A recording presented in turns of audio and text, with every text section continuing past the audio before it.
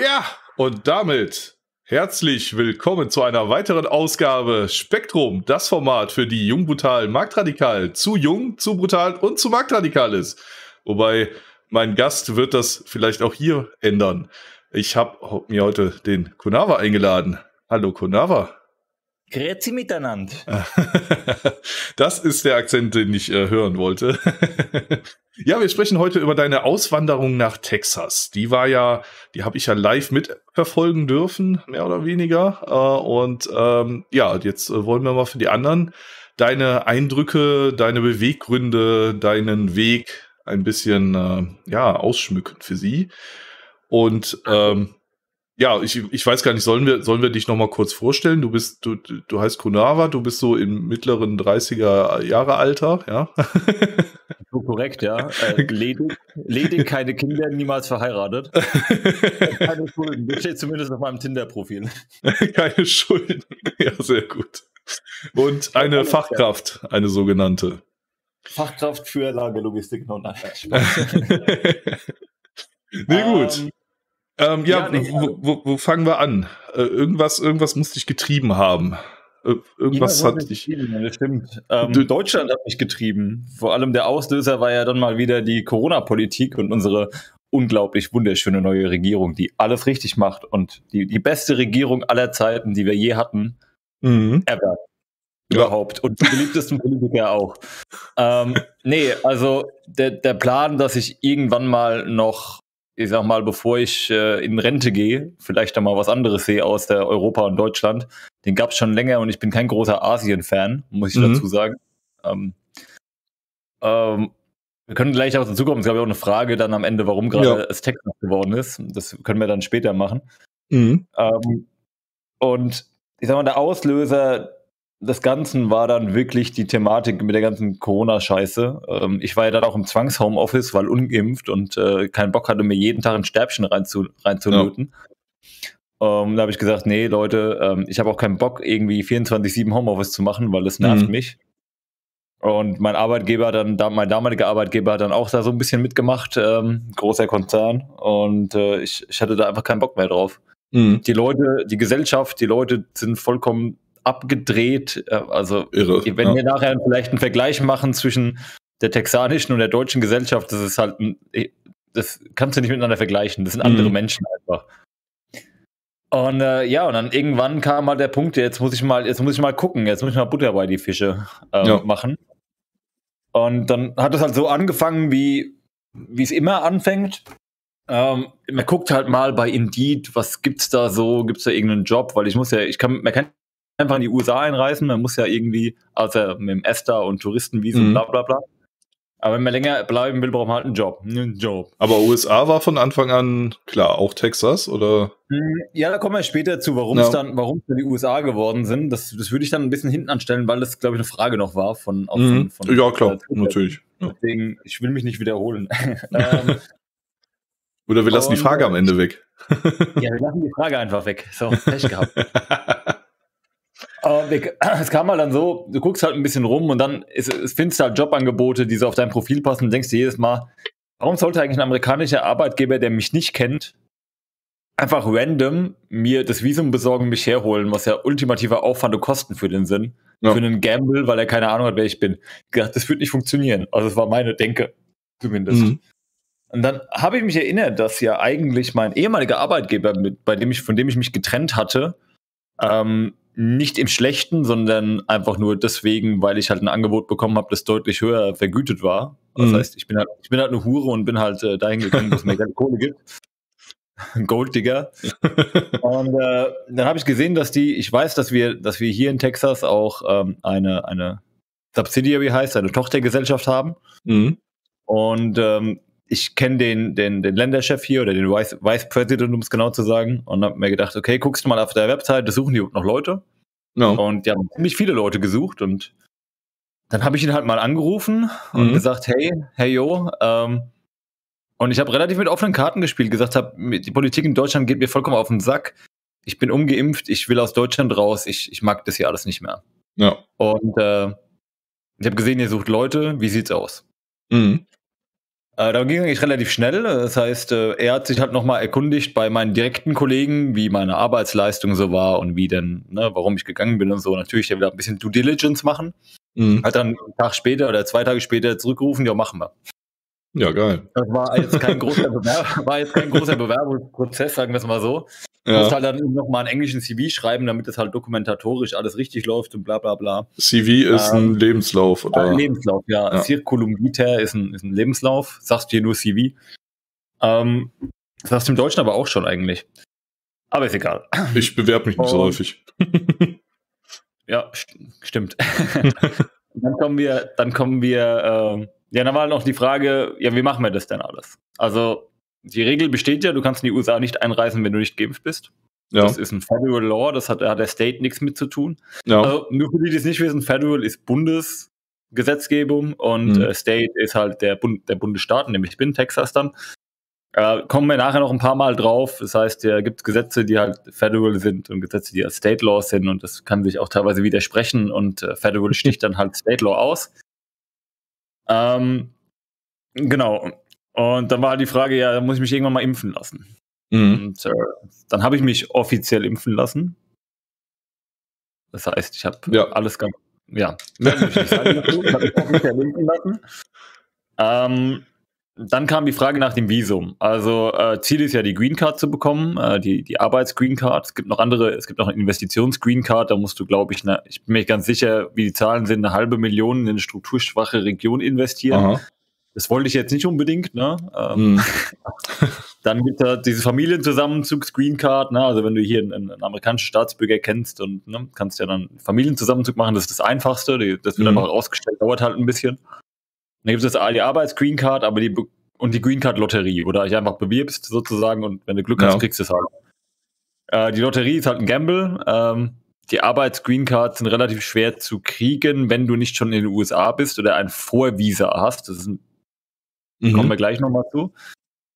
Also sind wir bei dem normalen Arbeitsvisum gelandet. Die heißen H-Visen, also H1B, H2B, wie auch immer. Könnt ihr nachlesen. Ja. Ich erkläre euch jetzt nicht alle. Das ist halt so Federal-Kacke. ähm, Problem ist bei diesen Visas, dass die sind, äh, die sind kontingentiert. Das heißt, er hätte sich bewerben können für, wir hätten auch eins bekommen, weil wir alle Voraussetzungen erfüllen, aber ja. es hätte sein können, dass in diesem Jahr kein Kontingent mehr frei ist. Also mhm. hätte ich ein Jahr warten müssen. Mein, sowohl mein Arbeitgeber als auch ich wollten es aber schneller durch die Bühne bringen, also haben wir einen Zwischenschritt gemacht. Dann haben wir ein sogenanntes E-Visum genommen, erstmal. Das heißt, ich bin in Deutschland noch angestellt. Ja auf mein deutsches Konto meinen deutschen Lohn, ähm, obwohl ich hier ganz andere Sachen verhandelt habe, aber das, da kommen wir gleich zu. äh, bin, mit, bin mit dem E-Visum rüber, das heißt, äh, wenn die mehr als 50% Anteile des Tochterunternehmens der deutschen Firma gehört, kann die einfach Leute rüberschicken. Unbekannt, ah, okay. keine Kontingente. Du gehst einfach kurz zum Konsulat, hast ein paar Dokumente dabei, das dauert eine Stunde bis zwei vielleicht. Äh, dann geben die den Stempel drauf, kriegst deinen Reisepass zurückgeschickt, hast dein Visum fertig. Kannst einreisen. Punkt. Aha, okay. Genau, dann habe ich, wie gesagt, meinen alten Job gekündigt gehabt, habe das alles nebenher parallel gemacht, habe noch ein paar Sachen verkauft zu Hause, habe das Glück, dass äh, äh, meine Familie Wohneigentum hat. Das heißt, ich konnte halt, musste halt nicht den ganzen Hausstand auflösen, sondern konnte mhm. halt viele Dinge daheim lassen und sagen, mein Vater hat gesagt, hier, ähm, ich kann nicht alles mitnehmen, ich will auch nicht alles verkaufen wenn ich das nächste Mal in Deutschland bin, nehme ich halt leere Koffer mit und komme mit vollen Koffern zurück, dann ist es alles gut. ja. Ähm, hab mir mal einen Flug gebucht und war dann hier. Also ja, kurzum. Wo, wobei da war ja noch, ähm, ja, war ja noch die, die, die Impfhürde und du hattest auch noch ein paar Impfungen auch nachzuholen, ähm, die für die Einreise in den USA nötig waren, richtig? Mm, nee, das war, das war eine Fake News, auf die ich reingefallen bin. Äh, Ach so, okay. Ja, also mandatory, also die Zwangsimpfung ist wirklich nur die Corona-Impfung. Alles mhm. andere ist, op ist optional. Ah, okay. Ich hätte dann vorher bei meinem Hausarzt nochmal eine, äh, noch mir für den unglaublichen Free Healthcare, deutscher Free Healthcare Betrag von mhm. irgendwie äh, 30 Euro mir eine Beratung geben lassen, mhm. was denn in Nordtexas denn sinnhaft wäre und mein Impfpass gezeigt und pipapo und hat ah, gesagt, okay. ja, eigentlich, eigentlich brauchst du nichts. Er würde mir empfehlen, noch das und das und das zu machen. Mhm. Da aber dann meine, meine, mein Timeschedule ein bisschen enger geworden ist, weil es ja. dann nicht mehr der erste siebte, sondern irgendwann der ja, Mitte Juni geworden ist oder Ende mhm. Juni, ging das dann alles nicht mehr so hin, ja, weil du kannst ja dir nicht alle Impfungen gleichzeitig reinballern lassen. Ja, ja. Da habe ich gedacht, ja, okay, dann, äh, dann lassen wir es halt. Und ich meine, es war ja nur optional. Ich gehe das mhm. Risiko jetzt, das ist mir wurscht. Mhm. Und du bist jetzt praktisch äh, bei deinem Arbeitgeber äh, in Deutschland angestellt und die haben dich entsendet. Genau, ich habe einen ganz normalen deutschen Arbeitsvertrag, habe mhm. einen aufgesetzten Entsendungsvertrag. Das heißt, äh, da sind nochmal ein paar andere Dinge geregelt. Und ich habe ein sogenanntes Letter of Understanding. Das heißt, da ich ja die Weisungsbefugnis jetzt nicht mit meinem deutschen Chef hat, sondern mein amerikanischer Chef, muss der ja. halt so ein paar Regeln festlegen, wie von wegen die, Deut die ganzen Compliance-Themen in den USA und was auch immer. Mhm. Und wer, wem berichte ich und äh, wie ist hier der Ablauf, wann muss ich Urlaub beantragen und also Gedönse dazu. Einfach nur nochmal so ein Informationsblatt, dass du da schreibst, ja, okay, ich kenne die Regeln hier in den USA, die sind halt anders in Deutschland. Äh, hier sind sie einmal runtergeschrieben, akzeptiert, Haken dran. Um mal beim, um beim Beruflichen jetzt erstmal zu bleiben, ähm, also der Vertrag würde dann quasi äh, dann im Laufe des Jahres, wenn du in, in den USA dann äh, tatsächlich eine Green Card kriegst, würde der dann umgeschrieben auf das Unternehmen in den USA oder wie sieht das aus? Ähm, ja und nein. Äh, es wird gerade geprüft, also ähm, die, meine Firma arbeitet da mit einem Anwaltskanzlei zusammen, die sich halt auf dieses äh, Immigration-Thema spezialisiert hat. Aha. Und ähm, die machen das jetzt auch zum ersten Mal mit mir. Die haben bis jetzt nur Leute entsendet, aber also mhm. in, auf, über den Weg mit Entsendungen dann rein. Und äh, momentan sieht es so aus, als würden wir vorher den amerikanischen Arbeitsvertrag machen. Mhm. Das heißt, ich kündige dann in Deutschland, bleibe ah, ja. aber hier und kriege den amerikanischen Arbeitsvertrag, aber noch mit dem Entsendungsvisum, weil das ist ja noch gültig. Ja. Und dann über den Schritt dann auf das entweder direkt die Green Card, das prüft gerade, das prüft gerade die Immigration, ähm, der Immigration Lawyer, oder ähm, über erstmal über das H-Visum. Weil über mhm. das H-Visum ist sozusagen die Vorstufe vom Green Card, du kannst es überspringen, aber es kommt halt immer auf die Kontingente an und äh, ganz viele rechtliche mhm. Sachen. Ich will hier niemanden nerven, ich kenne sie auch nicht 100%, ja. deswegen muss ich Scheiße. Ja, aber das ist ja, ist ja auch immer ganz interessant für Leute, die, die das ähnlich machen wollen, vielleicht. Ne? Also, ähm, ich meine, gerade da hast du ja mit deinem Arbeitgeber riesig Glück, dass der dir da auch so zur Seite steht ähm, und, und dir da bei allem Möglichen hilft und diesen ganzen Hassel einfach mitmacht auch. Ne? Das ist ja auch jetzt äh, nicht immer eine Selbstverständlichkeit, ne? Es hat halt den Vorteil, dass er weiß, wie ich arbeite mhm. und demzufolge halt kein, kein äh, wie heißt das, Wolfs im Schafspelz gekauft hat. Ja. Weil er weiß halt genau, okay, den, den Konava, den, den, den Konava, den musst du mal, der. ja, genau. Also die kennen mich, die müssen mich nicht einarbeiten. Ich meine, ich sag mal offen, ich bin IT-Consultant, das heißt, ich kenne das Produkt, das wir vertreiben. Ich hatte eine Projektleit zwei Projektleitungen inne in Deutschland, das heißt, die wissen halt, wie ich arbeite und dass ich das System kenne, also müssen die mhm. mich nicht von null auf nochmal anlernen. Mhm. Und die ja. kennen meine Arbeitsweise. Und äh, es scheint ihnen so gefallen zu haben, dass sie das halt relativ schnell über die Bühne, Bühne bringen wollten. Insofern alles gut. Ja, nicht schlecht. Ähm, ja, dann ähm, war irgendwann, also du, du, du sagtest ja, äh, im Prinzip war es nur ein Amt, äh, Amtsgang hier. Du hast dein Visum bekommen mit deinem Entsendungsbescheid äh, und äh, konntest praktisch dann deine Tickets buchen und äh, in die USA fliegen. Und äh, ja, wie, wie ist das so vonstatten gegangen? Was hast du da erlebt? Was waren deine ersten Eindrücke so? Die allerersten Eindrücke, als ich gelandet bin, meinst du jetzt? Ja, oder auch flugtechnisch oder was auch immer. Ja, es war erstmal ein Riesenabfuck, weil die, die Lufthansa, dieser Staatskonzern, leider auf diesem elfstündigen Direktflug auf die Idee kam, dass es eine Maskenpflicht gibt. Ah, je, ja, okay. ich habe ich hab sogar, ich habe Deutschland verabschiedet, während dem ganzen Flug elf Stunden eine verkackte Maske zu tragen. Zum Glück keine FFP2, zum Glück war es nur so eine medizinische Maske. Immerhin. Aber Leute, das war nochmal so dieser letzte Abfuck, wo Deutschland nochmal gesagt hat, komm, wir ärgern dich nochmal.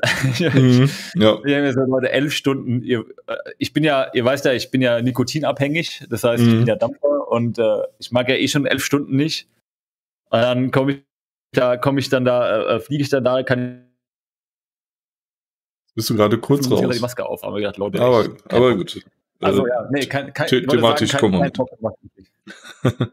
Maske ja. und rauchen, nee, mach äh, ich nicht. Du warst ja vorher äh, noch nicht in den USA und auch nicht in Texas, ne? Nein, ich war, ähm, also ich kann es ja vorher sagen, ich war einmal eine Woche in China, ich war ein, äh, ungefähr ein Jahr in äh, Tschechien und ansonsten halt nur Urlaub, Italien, Gran mhm. Canaria mhm. und so, und Österreich, Schweiz, bla bla bla. aber nur so Urlaubssachen. Also mainly Europa, einmal in China und äh, sonst nirgends.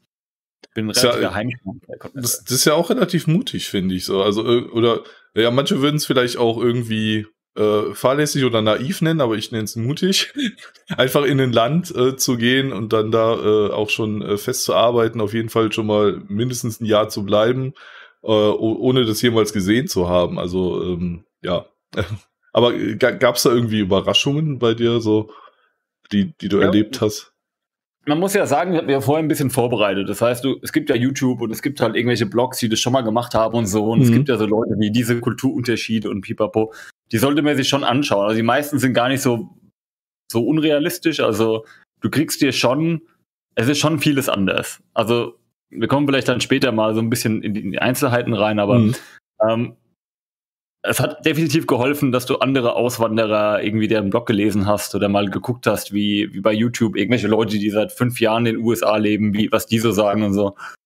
Und ich habe ziemlich ähnliche äh, Blick drauf gehabt, nur dass ich das halt politisch aus einer anderen äh, Blickwinkel mehr so ein bisschen gesehen habe. Ne? Mhm. Ähm, das erste, was mir aufgefallen ist, das allererste ist, die USA ist nicht raucherfreundlich. Okay. Das ich wollte natürlich gleich am Flughafen mir eine Dampfer anmachen. Es gibt keine, es gibt in den ganzen USA in keinem Flughafen einen Raucherbereich. Du musst raus. Okay. Und selbst wenn du draußen bist, kannst du nicht überall draußen, sondern du musst in einen, wie bei uns beim Bahnhof, ne? Mhm. So, ein, so Viereck ist so ein Ding, wo du reingehst. Das, heißt, ja, okay. das war das erste, was ich gemacht habe. Wobei ich sagen muss, dass der Amerikaner, wenn er sobald er draußen ist, schon ein bisschen drauf scheißt. also so, ja, ja, it's a law, ja, ja, hm, lass mich, nerv mich nicht. Ne? Und es sagt auch keiner was. Also ist auch mhm. keiner da, der sagt, die dürfen ja aber nicht rauchen, ja? ja. Einfach alle, die anderen ignorieren das halt einfach. Ne? Sobald die vielleicht nicht den Dampf oder die, die, den Rauch ins Gesicht gepustet bekommen, ist es denen egal. Ja. Mhm. Was dir als zweites auffällt, ist, dass die Autos hier alle dicker sind. Also alle. Es gibt hier, ich habe hier noch keinen Kleinwagen gesehen. Also ein Ford Fiesta oder so ein, so ein Opel Corsa, also diese Größe oder dieser VW Up, das gibt's hier nicht. Also mhm. ich habe noch keinen einzigen gesehen. Ich glaube, das kleinste, was du kriegst, ist so ein Toyota Corolla. Das ist so oh. Low Budget Auto hier, so ein Toyota Corolla. ähm, ich war jetzt beim Kunden in Boston auch. Du merkst aber auch Unterschied zwischen den Staaten. Ähm, also Massachusetts hat viel mehr kleinere Autos, also so wieder diese Toyota Camry, mhm. Honda, Hyundai und was auch immer. Und äh, hier in Texas hast du viel, viel mehr von den großen ähm, Pickups. Mhm. Ähm, und Mustang und V8-Motoren und ist schon ein bisschen anders. Und hier ist der Sprit mhm. natürlich billiger als in Boston. Ja. Ja, aber du hast ja auch äh, gemerkt, dass, dass die Menschen da auch äh, ja anders miteinander umgehen. Also äh, in Deutschland kennt man das ja nicht mehr, dass man sich grüßt oder so. Aber das, das scheint ja in den, äh, also zumindest äh, da, wo du dich bewegst, anders zu sein. ähm, also wenn du, wenn du random auf dem, also erstmal, wenn du draußen läufst, ist es schon mal was komisches, weil der Amerikaner fährt eigentlich Auto, auch wenn es nur ein paar Ja, okay, gut. Ja, und vor allem in Texas, weil die klimatisiert sind, die Autos, ne? Ja, weil sie klimatisiert sind und weil es nicht überall Gehwege gibt. Also wenn ihr Gehwege sucht, äh, oh, ja, können kompliziert werden. Also wir waren gestern, ich war gestern mit der Kollegin äh, in, in einem Red Robin essen. Mhm. Äh, das ist so ein Burger-Restaurant, kannst du sagen, so eine Kette mit einer angeschlossenen Bar. Ist egal. Wir waren aber da. Das ist hier gleich, das ist zehn Minuten weg zu Fuß, ja. Ja, komm, da laufen wir hin. Ja, müssen wir aber einmal eine Straße überqueren. Aber da gibt's mhm. halt keine Ampel und keinen Zebrastreifen. okay. Ja, okay. Du musst halt jetzt irgendwie über eine vierspurige Fahrbahn laufen. irgendwie.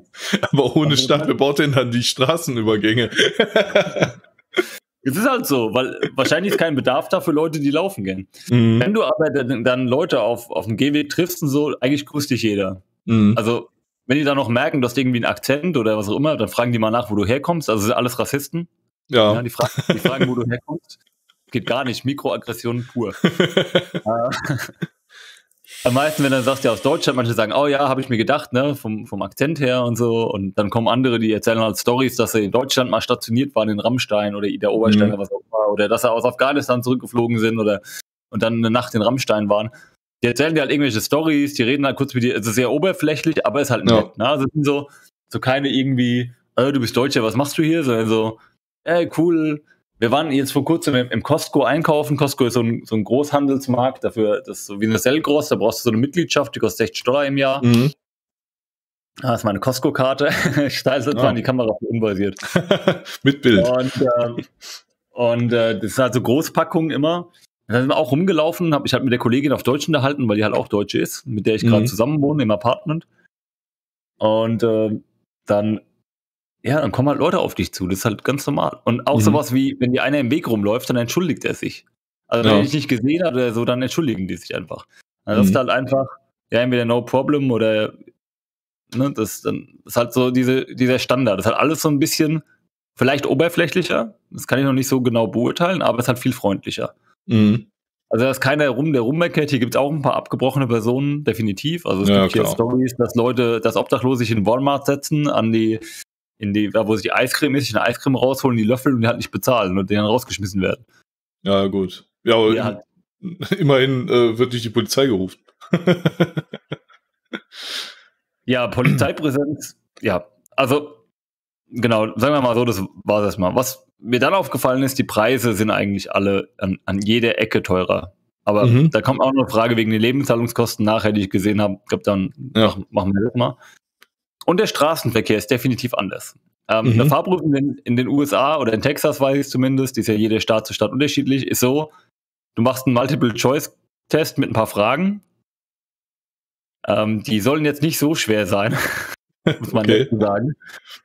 Äh, dann kommst du mit deinem eigenen Auto zur Fahrprüfung. Also, das heißt, du wirst von einem hingefahren, steckst dein Auto in so einem Bereich, fährst irgendwie dreimal um den Kreis auf gut Deutsch und dann sagt er ja, hier ist die Führerschein. Mhm. Und so teilweise fahren die Autos auch. Also die, die, wissen jetzt nicht unbedingt, wie man Blinker bedient oder, oder fahren ja, ja gut. Mit, Wobei das auch. Anlage an oder ich, ich, ich, weiß ja nicht, ob sich das häuft, aber das ist ja in Deutschland mittlerweile ähnlich. Also da da hat man auch teilweise das Gefühl, die Leute haben irgendwie ihren Führerschein im Lotto gewonnen oder so. Also, ja, schlimmer, ja. Ist schlimmer. Ja, ja? okay. Ja, ja, ist schlimmer. Ähm, was halt richtig, ja, mach, mach du ruhig. Nee, was richtig ankotzt, das muss ich wirklich sagen, eine Dinge, unbegrenzt fahren auf der Autobahn. Das gibt's ja nicht. Ne? Also ja. Texas hat ja maximal 85. Meine Arbeitsstrecke ist ein Interstate. Ähm, das sind äh, 70. Das mhm. sind ungefähr, was sind das, 100, 130, 135 km/h. Und Texas ist halt flach mhm. und steppig und es geht ja einfach nur geradeaus. Das heißt, du fährst halt mit 135 eine elendslange, breite Straße geradeaus. Nächstes so, oh, ja. Mhm. mhm. ja. Also da kann man auch mal einen Podcast hören nebenbei. es, hält, es hält sich aber auch wieder keiner, äh, keiner an die Geschwindigkeitsbegrenzung. Also du fährst mhm. 10 Meilen zu schnell und du wirst immer an jeder Ecke überholt. Nächstes so, ja, okay, ich weiß halt nicht, wo die Polizei steht. So, ihr wisst es vielleicht, aber ich bleib bei 10 km/h zu schnell, das reicht schon. Äh, 10 Meilen zu schnell, Entschuldigung. Nicht schlecht. Ähm, ja, was, was, was gibt's sonst noch für, für erste Eindrücke? Ähm, bezüglich, äh, ja, weiß ich nicht. Ähm, also wir haben Leute und wir haben grob Straßenverkehr du, du, du hast, du hast so, äh, so viele Stories schon erzählt, auch in Jungbutal Marktradikal und auch auf dem Server und so. Man weiß gar nicht, wo man ansetzen soll. Ähm, man, man könnte ja. Bitte? Wir könnten mal mit der Esskultur anfangen. Die ist auch. Äh, bevor wir zur Esskultur kommen, noch mal ganz kurz. Ähm, wie war denn äh, die Situation, nachdem du da angekommen bist? Also, ähm, ja. du warst ja erst in, in einem Hotel untergebracht, äh, wenn ich das richtig äh, verstanden habe. Ja, war ein bisschen komplizierter noch. Ähm, äh, ich bin äh, an einem Sonntagabend angekommen. Mhm. Ähm, bin dann, habe mir nur für zwei Nächte, glaube ich, ein Motel genommen. Also mhm. das ist sozusagen ein Hotel in billig. Das ja. war auch sehr billig, aber war okay. Die Klima war ein bisschen laut. Äh, na, ein bisschen ist so ein LKW, ist, ist egal, der neben deinem Bett steht, so egal. Waren halt nur 30 Dollar die Nacht, insofern ist okay. Kann man mhm. mal mitleben. Äh, ich war eigentlich nur da zwei Tage im Büro, um meine Social Security Nummer zu beantragen, weil die dauert immer ewig. Und das mhm. ist das erste, allererste Dokument, da kommen wir zu der Dokumenten-Arie, die man auch braucht. Ohne ja. die gar nichts. Das heißt, du fährst zu einem Social Security Office, das für dich zuständig ist, in deinem, deinem County. Ähm, musst gucken, ob du einen Termin machst oder ob du einen Walk-in machst. Walk-in heißt, du kommst einfach rein ohne Termin. Mhm. Die, die, schreiben die meisten auf ihre Webseite, dass Walk-ins jetzt wieder möglich sind. Ähm, oder halt, die schreiben rein, und wenn die möglich sind, komm früh. Am besten, bevor der Laden aufmacht. Ja. Vor allem, wenn es um Führerscheine geht, da kommen wir auch noch gleich drauf. Ähm, äh, dann, dann gehst du halt dahin, musst zwei Dokumente vorbereiten. Einmal deine, deine Immigration, also dass du durch die Immigration durch bist am Flughafen mhm. und sozusagen, dass da nochmal die Informationen stehen, ja, der ist legal hier eingereist. Mhm. Einmal so eine Form, die die, die aber von der Webseite haben, die du einmal ausfüllen machst. So, wo wohnst du gerade, Geburtsdatum, äh, Name der Eltern, wann sind die geboren? So, so ein bisschen Zeug. Ja? Mhm. Also grob Zeug. Sie die Social Security Nummer, äh, äh, Karte, die dauert, sie sagen immer eine Woche. es waren okay. dann vier. Und weil wir oh. wussten, dass es vier, dass es vier werden, ähm, bin ich vorher da gewesen, weil ich ja danach eine Woche ähm, einen Kundenbesuch. Also ich war bei einem Kunden in Boston, bin dann sozusagen dann nach Boston geflogen, habe mhm. da eine Woche lang beim Kunden verbracht und bin dann wieder zurückgeflogen. Und danach hat es noch drei Wochen gedauert, bis die da ist. Ähm, als ich aus Boston wieder war, Boston klar Hotel gehabt, dann hat mein Arbeitgeber, wir hatten die, das Agreement, dass er, solange ich noch den deutschen Arbeitsvertrag habe, äh, mir die Unterkunft zahlt. Aha. Das heißt, er hatte aber das Hotel gebucht, weil ich kenne mich ja hier nicht aus von Deutschland. Das heißt, ich habe keine Ahnung, wo der beste Spot ist. Und wir haben irgendwie mit Marriott Hotels so eine Rahmenvereinbarung und dann haben die halt ein Marriott Hotel irgendwo da in der Nähe der Arbeit gesucht. Also mhm. in der Nähe hieß eine halbe Stunde weg ungefähr mit dem Auto. Ja. Was okay war. Ähm, da aber dieses Marriott Hotel auch und, und Huni die Nacht gekostet hat äh, und meine Kollegin dann noch kam aus Deutschland, die nur übersendet ist, also die bleibt nur ein Jahr, mhm. äh, war es dann so, dass wir gesagt haben, ja, ja gut, aber das wird aber auf Dauer ein bisschen teuer, ne? Wollen ja. wir nicht mal, wollen wir nicht mal gucken, dass ihr, dass ihr ein Apartment sucht? Dann haben wir gedacht, naja gut, holen wir uns jetzt alle ein einzelnes Apartment und müssen das selber einrichten. Da gucken wir, dass wir irgendwie so ein, ein Two-Bedroom, Two-Bathroom-Apartment bekommen, das mhm. möbliert ist, was wir jetzt auch haben. Ja. Und der Arbeitgeber bezahlt halt. Ne? Das heißt, der Arbeitgeber hat einen Vertrag mit dieser Agentur. Ich wohne gerade aktuell in einer wirklich einer gated Community. Was ja based ist. Was eigentlich ziemlich geil ist, weil äh, die, hier sind halt der Pool und der Fitnessraum geht halt nur für die, die hier wohnen. Ne? Also du kommst ja aber nicht rein. Und äh, dann und es hat alles möbliert und äh, ja gut, die Qualität ist halt alles ein bisschen anders. Ne? Äh, mhm. Die Amerikaner bauen ein bisschen luftiger, das war nett zu sagen. Auch nicht immer so gerade, also da hängt aber eine Steckdose schief und so, aber das ist hier normal. Also okay. an Qualität, deutsche Qualitätsansprüche brauchst du nicht in Amerika erwarten. Egal, ob welchem Bundesstaat es ist. Also ich habe jetzt bis jetzt, wie gesagt, ich war in Connecticut, äh, Massachusetts und Texas und ich habe jetzt noch nicht entdeckt, dass das irgendwo anders ist. Mhm. Ähm, genau. Ja, jetzt sind wir hier, haben schöne Glasfaserleitungen, was sehr nett ist. Ne? Sehr gut. ähm, Handy und so weiter kostet auch mehr, aber kommen wir auch nochmal gleich zu, wenn wir auf die Kosten eingehen. Ja. Ähm, genau. Und genau, jetzt kommt die Social Security Karte. Also die ist das Wichtigste. Ohne die kannst du kein Bankkonto eröffnen. Ja. Du brauchst also deine Social Security Nummer, die muss valid sein und dann kannst du ein Bankkonto öffnen. Dann gehst du zur Bank, öffnest, wenn du die Karte hast, dein Bankkonto. Da gibt es einen sogenannten Checking Account, das ist dein normales Girokonto. Mhm. Und dann gibt es noch die Credit Card. Im Vergleich zu deutschen Credit Cards kannst du kein Geld auf eine Kreditkarte laden. Die Credit mhm. Card gibt dir einen Credit.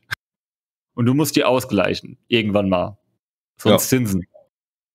Ja, das ist ein Unterschied und die Gebühren sind hier deutlich teurer. Also wir, jetzt, wir sind gebührenfrei, wenn wir am jeden Tagesstart mindestens 1500 Dollar auf unserem Checking-Account haben.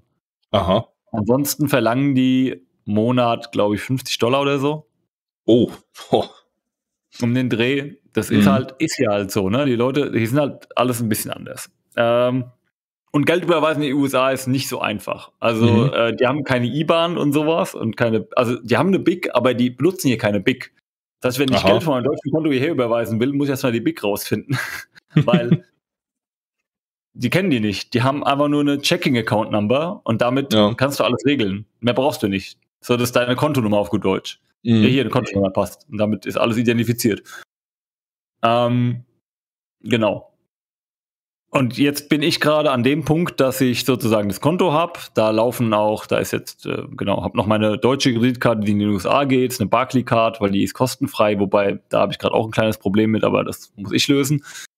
Und ich habe noch mein deutsches Konto, wo halt meine, mein, mein Gehalt draufkommt und ich mir halt dann einen Teil davon in die USA überweise, was ziemlich teuer ist. Also da kannst du mit 30, 35 Euro Gebühren rechnen, das Geld von A nach B zu schippen.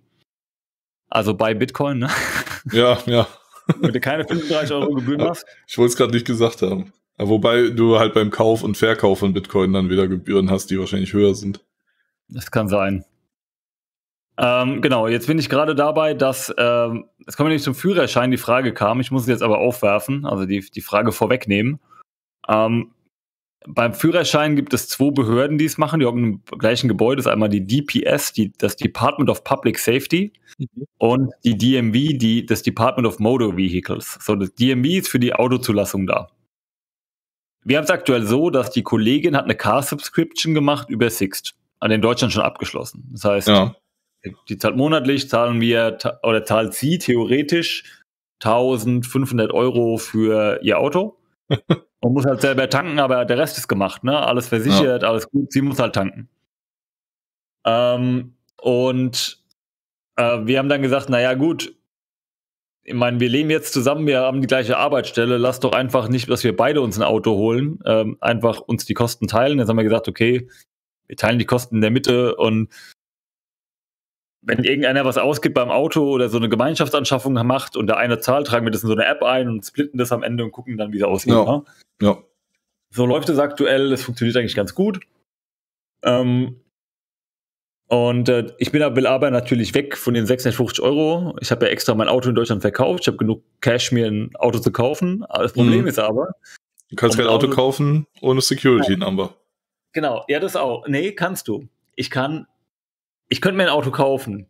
Ja. Problem ist, ich kann mein Auto nicht zulassen, weil ich keine Versicherung bekomme. Weil, weil du keinen Führerschein hast.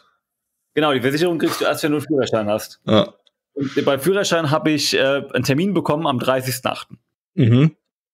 So, also warte ich bis, jetzt warte ich jetzt noch 29 Tage, gehe zur Führerscheinstelle, muss zwei Belege haben, wo ich lebe. Das müssen wir ein bisschen faken, aber das geht schon.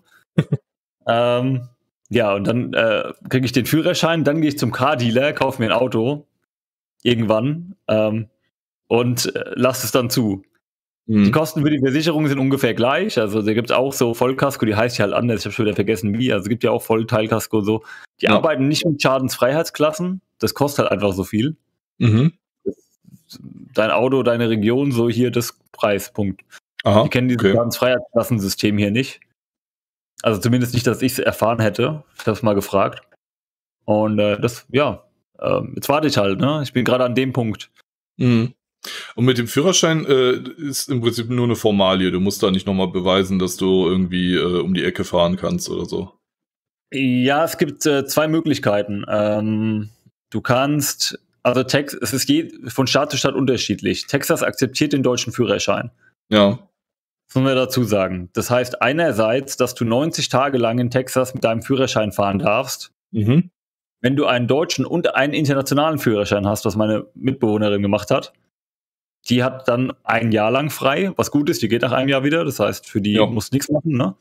Und die will ja auch kein Auto hier kaufen, insofern, weil die ja nach einem Jahr wieder geht. Ähm, und bei, bei mir ist es so, dass ich entweder den Deutschen eintauschen kann. Das heißt, dann muss ich gar, gar keine Prüfung oder was auch immer machen. Das heißt, ich tausche den, gebe den Deutschen ab und kriege den Texanischen dafür. Ja. Problem gelöst. Ich habe da bei meiner Führerscheinstelle mal nachgehört, was passiert. Die texanischen Behörden sagen, ah ja, wir schicken den zurück. Mhm weil es steht ja drauf, werden ausgestellt und so weiter. Ob die das wirklich machen, weiß ich nicht. Dann habe ich aber gefragt bei meiner Behörde in Deutschland, die haben gesagt, naja, sie stehen in der Datenbank, dass sie einen Führerschein haben. Dann, wenn sie wiederkommen sollten, dann kriegen sie halt einen neuen ausgestellt, kostet halt 40 Euro oder was. Mhm. Insofern, warum soll ich den Test machen? Ich plane eh nicht zurückzukommen und wenn, falls da doch alle Stricke reißen, dann kostet mich 40 Euro. So, okay. Haken ja. dran. Okay. Mein 40 Euro sind ja zukünftig dank Inflation so viel wert wie, naja gut, lassen wir das Thema. Brot. genau. Ja. Ähm, ja, wo waren wir denn? Wir waren jetzt beim Thema. Äh, ja, beim ja. Thema äh, Dokumente eigentlich, aber du wolltest zur Esskultur, glaube ich, übergehen. Wollte kurz zur Esskultur was sagen. Äh, ja, gerne. viel, viel, viel, viel. Jetzt bist du gerade kurz weg. Also es, entweder liegt es an meiner Bambusleitung oder an deinem. Fastfood. Das ist egal. Ich glaube, du. Ah, hörst du mich wieder? Ja, ich höre dich wieder. Okay. Dein Bild hing, deswegen dachte ich, vielleicht ja. nicht. Es gibt ja. viel, viel Fastfood. Und ähm, das meiste ist Burger. Also hier mhm. gibt es Burgerketten ohne Ende. Also die hast du noch nicht gehört, die kennst du aus Deutschland nicht. Du kennst McDonalds, Burger King, vielleicht kennst du Shake Shack. Gibt Burger Five, Five Guys, ähm, äh, Whataburger, In-N-Out Burger, keine Ahnung. Es gibt hier so viele Burgerketten, die kriegst du raus. Es gibt regionale, gibt internationale, nationale, das ist glaube wie gesprungen. Ja. Ganz viel, hier in Texas ganz viel Tex-Mex, also viel mit Taco, Burrito-Zeug, äh, Chipotle kennt man ja aus Deutschland mhm. noch und so. Ähm, das ist hier ganz, ganz groß. Wenige Leute kochen selber, viele gehen halt auswärtig essen, deswegen findest du hier viele, viele Restaurants und Fastfood-Ketten überall. Ja. Aber wenn du hier rumfährst in so eine Strip Mall, dann sind mindestens mal fünf Fressbuden, nenne ich es mal. Und äh, ansonsten halt, äh, ja, ein paar Offices vielleicht und ein paar Läden, so ein Dampfladen oder was auch immer. Mhm. Jo. Und Texas im Speziellen ist sehr, sehr bekannt für seine Barbecue- und Steak-Kultur. Ja. Uh, hier gibt es allein drei Ketten, ne, zwei Ketten. Wie heißt Saltgrass Steakhouse und Texas Steakhouse, glaube ich. Die so, so Ketten, die ein bisschen Texas und umgebende Staaten sozusagen diese, diese, diese ganzen Steaks machen, also alles, mhm. was mit Fleisch zu tun hat. Und dann gibt es da noch kleinere Mom- und Pub-Shops, heißen die hier, also so inhabergeführte Läden, wo mhm. du halt lieber hingehst, ne? Ähm, und es ist sehr lecker. Und vor allem Texas Barbecue ist auch sehr lecker. die machen immer alle selbstgemachte Barbecue-Soßen und das ist. Leute, also wer Fleisch mag, äh, das ist Deutschland ist kein Vergleich. Ich habe so ein Steak noch nie in Deutschland gegessen und ich habe auch so ein Barbecue noch nie in Deutschland gegessen. Das ist, das ist eine andere Liga.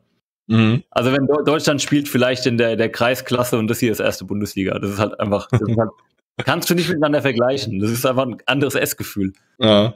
Ich, habe jetzt zum allerersten Mal gehabt, wie ich hier ein Ribeye, mein erstes Ribeye Steak gegessen habe, in einem Laden, der hieß Sweetie Pie's Ribeye Steak. Ich hatte Gänsehaut vom Essen. Ich hatte in meinem ganzen Leben nie Gänsehaut, aber ich hatte Gänsehaut vom Essen und das war so gut. es hat mich 45 Dollar gekostet für ein Steak mit 38 Unzen. Ah ja, äh, Unzen 31 Gramm, ne? Also um die um ein Kilo ungefähr. Grob Kilo. Okay. Aber ich, war rechne ich gerade richtig? Nee, warte mal. 38 Unzen. Nee, es waren gar nicht 38 Unzen, was erzähle ich denn da? Waren es 24? Es war groß. Einige war groß, es war sättigend, es war viel. Und dafür zahlst du halt nur für Steak und eine Beilage ohne Getränk. Also Wasser gibt es immer dazu, aber ohne weiteres Getränk mhm. äh, irgendwie 45 Dollar. Äh, und dann gibst du noch 20% Trinkgeld. Oder wenn der Service wirklich gut war, mehr. Das mhm. ist schon, also Trinkgeld ist hier wirklich 20% Standard. Die Regel okay. ist, wirst du bedient, 20%. Wirst du nicht bedient, gar nichts. ja, gut. Oder Wendy's oder was auch immer, gehst rein und sagst, hallo, ich hätte gerne den Burger. Du kannst Trinkgeld geben, aber das macht ja. keiner. Mhm. Bist du okay. aber irgendwie mit, mit, einer Waitress und die kommt vorbei und dann zahlst 20 Prozent und wenn der Service super gut war, kannst du mal 25 oder 30 bezahlen. Mhm. Deine Entscheidung. Der Bezahlvorgang ist indes aber sehr kompliziert. Den habe ich bis heute nicht verstanden, warum das so kompliziert ist. Okay. Also, die kommen mit der Rechnung in so einem, so einem Umschlag, dann guckst du da rein, deine Kreditkarte rein oder legst Bargeld rein. Deine mhm. Entscheidung. Die meisten machen Kreditkarte oben rein. Oder, oder ähm, wie heißt die andere? Von deinem Checking-Account die äh, Debitcard, genau. Ja. Die haust du da mit rein. Dann kommen die wieder, haben sozusagen den Betrag reserviert mit, einem, mit zwei Belegen. Der eine ist für dich, der eine ist für die. Dann kannst du nochmal sagen, wie viel Trinkgeld du geben willst. Musst es unterschreiben und dann geht es zurück und dann buchen die das am Ende des Tages nach. Aha. Anstatt dass du irgendwie gleich irgendwie auf den Zettel schreibst, auf den ersten, plus 15 Prozent oder sowas, keine ja. Ahnung. Sondern sie kommen dann nochmal und gehen dann nochmal zurück. Da habe ich mir gedacht, das ist irgendwie ein bisschen, das macht keinen Sinn. Das macht wirklich keinen Sinn. Man gewöhnt sich irgendwann dran, aber warum kommt die jetzt nochmal mit der Rechnung? Ich hatte doch gerade. macht irgendwie keinen Sinn. Und die nehmen deine Kreditkarte mit, ne? Also nicht wundern. Das ist nicht mhm. so, dass die mit einem Automaten kommen wie in Deutschland, die nehmen deine Kreditkarte mit ja. und kommen dann wieder mit deiner Kreditkarte. Ja gut, so, so, so, kennt man das auch irgendwie aus so amerikanischen Filmen irgendwie. Aber äh, ja, es ist schon ein, ein interessanter Prozess. Äh, allein die Kreditkarte aus der Hand zu geben. Ich meine, die können ja alles Mögliche damit machen. Also ich, ich da, ja, da ja, muss klar. man. Ungewohnt, ja. ja. Was, was, ganz komisch ist, ist auch ein bisschen die Bedienung. Die fragen halt ganz oft nach, ob alles okay ist, obwohl die mhm. offensichtlich sehen, dass du noch am Essen bist oder dass alles noch voll ist und so. Also nicht wie in Deutschland, die kommen halt wirklich alle fünf, sechs Minuten, ist alles okay, kann ich noch was bringen? Hm. Das würde ich mir aber in Deutschland auch manchmal wünschen. Also jetzt nicht in, in der Frequenz. Ist ein bisschen viel. It's a little bit much. Äh, aber, ma aber manchmal, äh, also in, in also ich gehe auch relativ häufig auswärts essen und da erlebe ich halt auch häufiger mal, dass ich da irgendwie dann getränketechnisch auf dem Trockenen sitze oder so. Das, weiß ich nicht. Eben. Man fragt sich, wollen die Leute nichts verkaufen? Also, nee, das passiert aber, aber in, in, den USA passiert das nicht. Ja, okay, oder zumindest nee. in Texas. Aber mhm. sobald die merken, dass du fertig bist, dann wollen die, dass du relativ schnell wieder gehst. Kann mhm. ich aber nachvollziehen. Also, die werden es dir nicht sagen. Aber du merkst an ihrer Art, dass die gerne diesen Tisch jetzt wieder neu vergeben wollen würden. Ja. Aus dem Grund, weil du ja schon dein Trinkgeld bezahlt hast und die mhm. wollen das Trinkgeld ja haben. Also muss ja. der nächste kommen. Das heißt, lass dir Zeit beim Essen, weil danach mit dem, wie es wir in Deutschland kennen, mal sitzen bleiben, noch am Tisch reden für eine Viertelstunde, halbe Stunde. Das kennen die nicht. Mhm. Die sagen, okay, ich habe aufgegessen, ja, okay, bezahlt, ciao. Also das ist wirklich, es geht hier wirklich kein, keine mal, mal sitzen oder so. In der Bar ist es was anderes. Wenn du an der Bar hockst und mal irgendwie kurz was nicht trinkst, ist was anderes. Aber ja. Mhm. Ja. Also Gibt es auch Gesundes zu essen? Achso, ja, genau, das war auch eine Frage. Ähm, ja, kannst du. Ähm, war, jetzt, war jetzt eigentlich eine von mir, ich habe jetzt nicht geguckt. du, kannst dir, du kannst dir sogar deinen Burger gesund machen, das ist kein Witz. Du kannst, äh, es gibt einige Burgerketten, äh, die, die, da kannst du das Bun ersetzen mit, äh, mit einem Lettuce-Bun, also einem Blattsalat, eine dicke Scheibe Blattsalat, und da ist das Fleisch zwischendrin. Aha. Dann kannst du, das, du kannst eigentlich den, den Burger immer customizen. Da lässt du das Mayo weg und machst Guacamole rein zum Beispiel oder und dann hast du eigentlich relativ was Gesundes. Du hast eigentlich so ein, so ein Hackfleisch mit äh, Guacamole auf Salat. Mhm. Das ist jetzt nicht ungesund, ja? kann, man, kann man essen. Ähm, wenn du in den Supermarkt gehst, also die großen sind Walmart, off Walmart offensichtlich, das ist eher so der günstig preisiger und ein bisschen assier. Dann, es gibt Aldi hier, es gibt keinen Lidl in Texas, noch nicht. Aldi hat eine kleine Auswahl, aber relativ gut sortiert und gut. Kann man nicht mhm. meckern. Also Aldi heißt sie hier, nicht Aldi, Aldi. Ähm, dann gibt es halt Whole Foods und Sprouts und so, das sind eher so diese Bioläden, so wie Dance und ein bisschen höherpreisig und da ist alles irgendwie aus Bambus und Scheiße, schieß mich tot und Dreck. äh, dann gibt es Kroger. Kroger ist so diese, diese Mittelweg zum Gehen, ja, also einfach so, ja, keine Ahnung, das ist der, der na, Edeka wäre zu teuer, keine Ahnung. Der Lidl. Ja, da kriegst du halt, ja, da kriegst du eigentlich alles, aber ist halt nicht zu günstig und nicht zu teuer, ist halt so, ja, gehen wir zum Kroger. Mhm. Costco habe ich schon gesagt, dieser Großhandelsmarkt. Wir haben einen um die Ecke, das ganz geil heißt Winco Foods und die haben die, äh, da bekommst du Anteile vom Unternehmen, wenn du da arbeitest. Aha. Das heißt, du kriegst neben deinem Gehalt noch Anteile am Unternehmen, dass die Leute, die da arbeiten, auch ein Stake in dem Unternehmen haben. Ja. Und das Lustige ist, du merkst es auch ein bisschen. Das finde ich ganz mhm. interessant. Äh, steht auch ganz groß drauf, äh, Employer-Owned Company. Und muss ja sagen, das ist, ein schön, das ist ein schöner Laden. Alles sehr frisch und so und Preis auch nicht zu teuer. Ähm, mhm. Also im Vergleich ähm, zu Preisen kommen wir ja noch. ja. Äh, genau. Äh, aber die Frage war, kannst du auch gesunde Sachen finden? Ja, du kannst, du findest extrem gesunde Sachen überall. Die liegen halt aber nicht in der ersten Reihe. Aha, okay. Du musst, du musst die suchen. Die gibt es. Die sind in jedem Laden vorhanden, aber die liegen halt nicht vorne. Vorne liegt erstmal irgendwie die Twinkies oder die Pop-Tarts oder die, keine Ahnung, Kuchen. Die haben ja eine Kuchenabteilung in, in jedem Laden. Da mhm. du, kannst du ganze Kuchen kaufen. Und die sehen halt nicht lecker, also die sehen lecker aus, aber die sehen halt nicht gesund aus, sagen wir es mal so. Ja. Also eher so Fett mit Schokolade mit mehr Fett und alles frittiert und so. Aber du kannst dir auch Tiefkühlbrokkoli kaufen, du kannst frischen Brot. Das gibt's alles wie in Deutschland auch. Mhm. Nur musst du suchen. Und Brot okay. gibt's halt nicht. Also unser Brot gibt's halt nicht. Ja, gut. Das Aber ist ja für dich kein Problem, weil Brot hat ja Konava-Hydrate. Richtig. Niemand mag Brot. Aber da, da frage ich mich, wo ist denn das Problem der, der, der Deutschen in den USA? Man, man kann ja auch deutsches Brot backen, oder nicht? Oder, oder gibt's da die Mehlsorten nicht oder was, oder wie?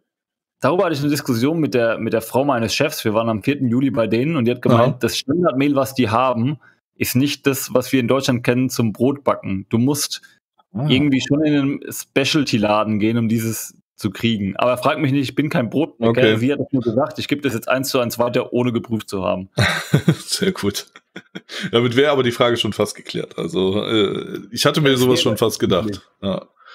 Und das Layout hier in Amerika ist ein anderes als in Deutschland. Du hast hier Wohngebiete, da fährst du rein, da liegen ganz, ganz, ganz viele Häuser. Mhm. Aber die sind, und dann fährst du wieder auf, die, auf eine Hauptstraße, nenne ich es mal, also so auf eine Straße, die diese Wohngebiete miteinander verknüpft. Und dann gibt es halt so Gebiete, wo dann fünf Einkaufsläden nebeneinander, also dieses Strip Mall sind das ja. Also ja. du bist draußen, in der Mitte ist ein großer Parkplatz und außenrum sind die ganzen Geschäfte. Und meistens ist ein großes Geschäft, ein Walmart, ein Kroger, was auch immer, in der Mitte. Mhm. Und irgendwelche Fastfood-Läden außenrum und Banken außenrum. Also du hast es sehr getrennt voneinander. Das ist nicht wie in Deutschland, dass du so eine Innenstadt hast, da ist mal ein Häuschen, dann ist nebendran mal der Lidl und so. Das sind so richtige Bezirke. Aha. Das heißt, du bist jetzt hier, keine Ahnung, im, ich nenne es mal ganz blöd, Fastfood-Bezirk, dann sind da halt da sieben Fastfood-Läden nebeneinander. dann, dann, sind die halt da. Aber dann da ist kein Fastfood-Laden im Wohngebiet. Da ist halt nur ein mhm. Wohngebiet, da wohnen Menschen, Punkt. Ja, ist da nicht. Das sind halt Häuser. So. Das ist halt sehr getrennt voneinander. Das muss man. Und ohne Auto bist du aufgeschmissen. Also es gibt hier, mhm. wo ich bin, keinen ÖPNV. In Dallas, ein bisschen, also 30 Meilen, aka 50 Kilometer entfernt, gibt es Busse. Ob die jetzt häufig fahren oder gut sind, keine Ahnung. Ähm, aber Auto ist the way to go. Mhm. Hier so. Und fliegen. Wenn es länger ist, fliegen. Ja. Ja gut, Allein ich meine, in der Region gibt es, glaube ich, fünf Flughäfen oder so. Also den großen okay. DFW und dann halt viele kleine noch, aber hier hast viele Flieger am Himmel.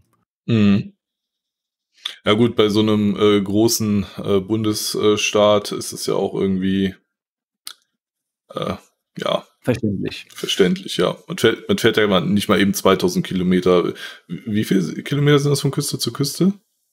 Oh Gott, keine Ahnung. Ich kann es dir nicht sagen. Ich auch nicht. Also ich würde fast sagen, über 2000 Kilometer, würde ich mal schätzen. Ich glaub, Texas, allein Texas, glaube ich, von der Fläche her zweimal Deutschland. Mhm. Aber wir haben nur 30 Millionen Einwohner hier. Da könnt ihr ja. mal überlegen. Ihr fahrt hier, wenn ihr Richtung Labok fahrt, also im Nord, vom Nord, ähm, Osten in Nordwesten, dann seht ihr halt mal meilenweit nichts. Also mit nichts meine ich einfach nichts. Da ist eine Straße, das war's. Da ist außenrum nichts. Wenn ihr Glück habt, mal eine Farm. Also wenn ihr so Horrorfilme mögt, dann kann da mal eine Farm stehen, dann würde ich nicht aussteigen. Ich würde einfach weiterfahren. Fahr weiter. Nicht schlecht. Ähm, was ich noch nicht getan habe, ich habe noch keine giftigen Tiere gesehen hier. Also mhm. äh, klar, Thema Käfer, hier gibt es halt andere Käfer und andere Vögel, aber so die, ich habe mir ja vorher angeguckt, was es hier an giftigen Tieren gibt und ich habe noch keinen encountered. Ähm, schauen wir mal. Gibt hier ja, ja alles. Ja, das, das war ja so auch eine Sache, wo man sich vielleicht Gedanken drum machen muss, aber ja. Nicht schlecht. Das Thema Waffen haben wir noch gar nicht angesprochen. Ja, ja, ich weiß gar nicht, ob wir das, äh, wollen wir das äh, jetzt schon machen oder wollen wir erst die Kosten machen? Weil ähm, äh, weil eigentlich passt das Thema Waffen nachher zu den, zu den Fragen am Ende, weil da auch sehr viel mit Waffen ist. Okay, dann Kosten. Ähm, also was günstiger ist, sind, kann ich schneller aufzählen, als das, was teurer ist. äh, Sprit, also Benzin, äh, super, also Diesel ist hier teurer als Super, weil die haben die gleiche Steuer drauf, das heißt, es gibt keine Steuerersparnis. Es, die ist übrigens eine Flat Tax drauf, ich glaube, das sind 20 Cent oder so pro, pro Gallone, mhm. irgendwie Steuern, um den Dreh, ich bin mir nicht ganz sicher. Und Sales Tax, also diese Mehrwertsteuer, ist nicht auf Benzin. Also die mhm. gibt es nur auf Lebensmittel, die ich glaube, ich fange erstmal mit den Steuern an. Ich, das ist vielleicht ja. einfacher. Ja. Ähm, okay, du hast in Amerika Federal und State und District Taxes. So. Ähm, Federal Tax ist klar, Bundes, Bundesding, es ist die Income Tax, Einkommensteuer. Dann gibt es States, die obendrauf nochmal eine State Income Tax haben wollen. Texas ist keiner davon. Mhm. Das heißt, du zahlst nur deine Einkommensteuer staatlich, also Federal und nicht State. Dann gibt es die äh, Sales Tax, die haben andere Bundesstaaten nicht, andere haben, und die legt jeder Bundesstaat fest, wie er will. Zwischen 0 und, ich glaube, das teuerste ist 10% mit Kalifornien, warum auch immer Kalifornien, ich weiß es nicht. Äh, und dann der District oder die Stadt, wo du nochmal drin bist, also der Großraum Dallas, verlangt auch nochmal was.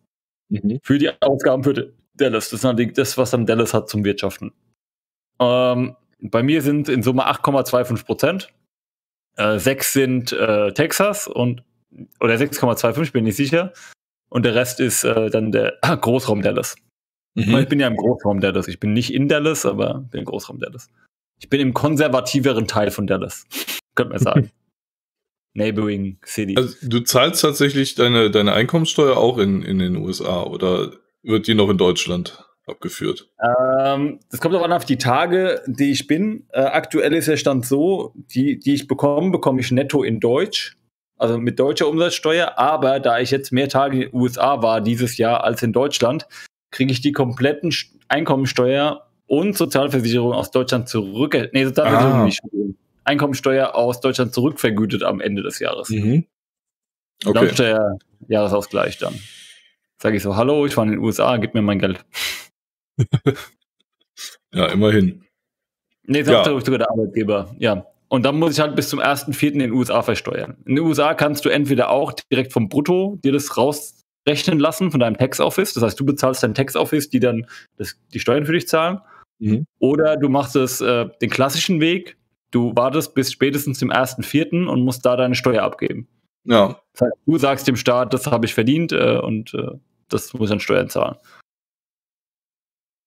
Könnte man quasi mit dem Geld schon mal wirtschaften. Was, genau, was du, genau, du kannst das ganze Jahr hast du eigentlich das Bruttogehalt und musst halt dann bis zum 1.4. des Folgejahres die, die, die, die Steuern wegballern. Du könntest also sozusagen dein, dein Brutto, deine Steuer, die du zahlen musst, investieren. Und wenn das Investment gut läuft, dann hast du mit dem gut laufenden Investment deine Steuer bezahlt. Und das. Investment. Ja, gut, da darf man dann nicht zu risikoreich gehen, weil sonst äh, hat man nachher ein Problem. Ähm, mhm. Was noch interessant ist, die Altersvorsorge, darauf will ich nochmal eingehen kurz. Es gibt hier zwei Produkte, nenne ich es mal. Das ist eine kapitalgedeckte Altersvorsorge. Das ist einmal das sogenannte 401k, also 401k, oder das Roth IRA. Ähm, ich erkläre das Roth IRA, was ein bisschen einfacher ist erstmal. Äh, mhm. Roth IRA ist wie folgt. Du machst einen Account bei deiner Bank und sagst, hallo, ich hätte gerne einen Roth IRA-Account. So. Die Bank macht den auf, das ist wie ein Depot zahlst ja. da Geld rein, ne? also so ein Verrechnungskonto, wie es in Deutschland kennt, zahlst da Geld ein, handelst irgendwas, worauf du Bock hast. Ja, das, das schreibt dir keiner vor. Fertig. Kannst Optionen kaufen, Optionsscheine, Aktien, alles, was in den USA legal zu handeln ist. Mhm. Ähm, hier, da ist es so, dass du da bereits versteuertes Geld nimmst, also dein Nettogehalt, kannst da rein investieren und alle Trades da drin sind steuerfrei. Mhm. Weil du es die erst am Ende deines Berufslebens ausgezahlt kriegst auch, ne? Genau. Wenn jedoch, genau, wenn jedoch du das Geld vorher entnehmen möchtest, dann zahlst du eine Strafsteuer, dass du es vor deiner Rente entnommen hast. Mhm. Kannst du aber tun, musst halt die Strafsteuer zahlen. Mhm. Der Unterschied des 401k, 401k ist wie folgt. Du bekommst ähm, das Geld ist das Bruttogehalt, das du bekommst. Mhm. Du zahlst die äh, Steuern auf die, die Gewinne, die du in dem Depot machst, den 401k-Account. Und auch du hast eine Strafsteuer, wenn es rausgeht. Mhm. Vor deiner Rente. Also einmal versteuerst du dein Einkommen und bist dann steuerfrei danach. Oder du, du gehst mit dem Brutto rein und versteuertes genau. Einkommen. Der Unterschied bei 401k ist, dass viele Arbeitgeber, auch meiner, einen Zuschuss geben. Mhm. Wenn ich sage, okay, ich würde gerne von meinem Bruttogehalt, sagen wir es sind 100.000, dann hätte ich gerne von den 100.000, dann machen wir es einfacher, es sind 120.000, dann sind es nämlich 10.000 im, im, Monat, ne? Das ist dann einfacher zu rechnen für mich jetzt gerade im Kopf. Ich würde gerne 1.000 oder sowas oder in dieses 401k reinzahlen. Und dann mhm. geht der Arbeitgeber normalerweise mit. Das ist eine freiwillige Leistung vom Arbeitgeber. Mhm.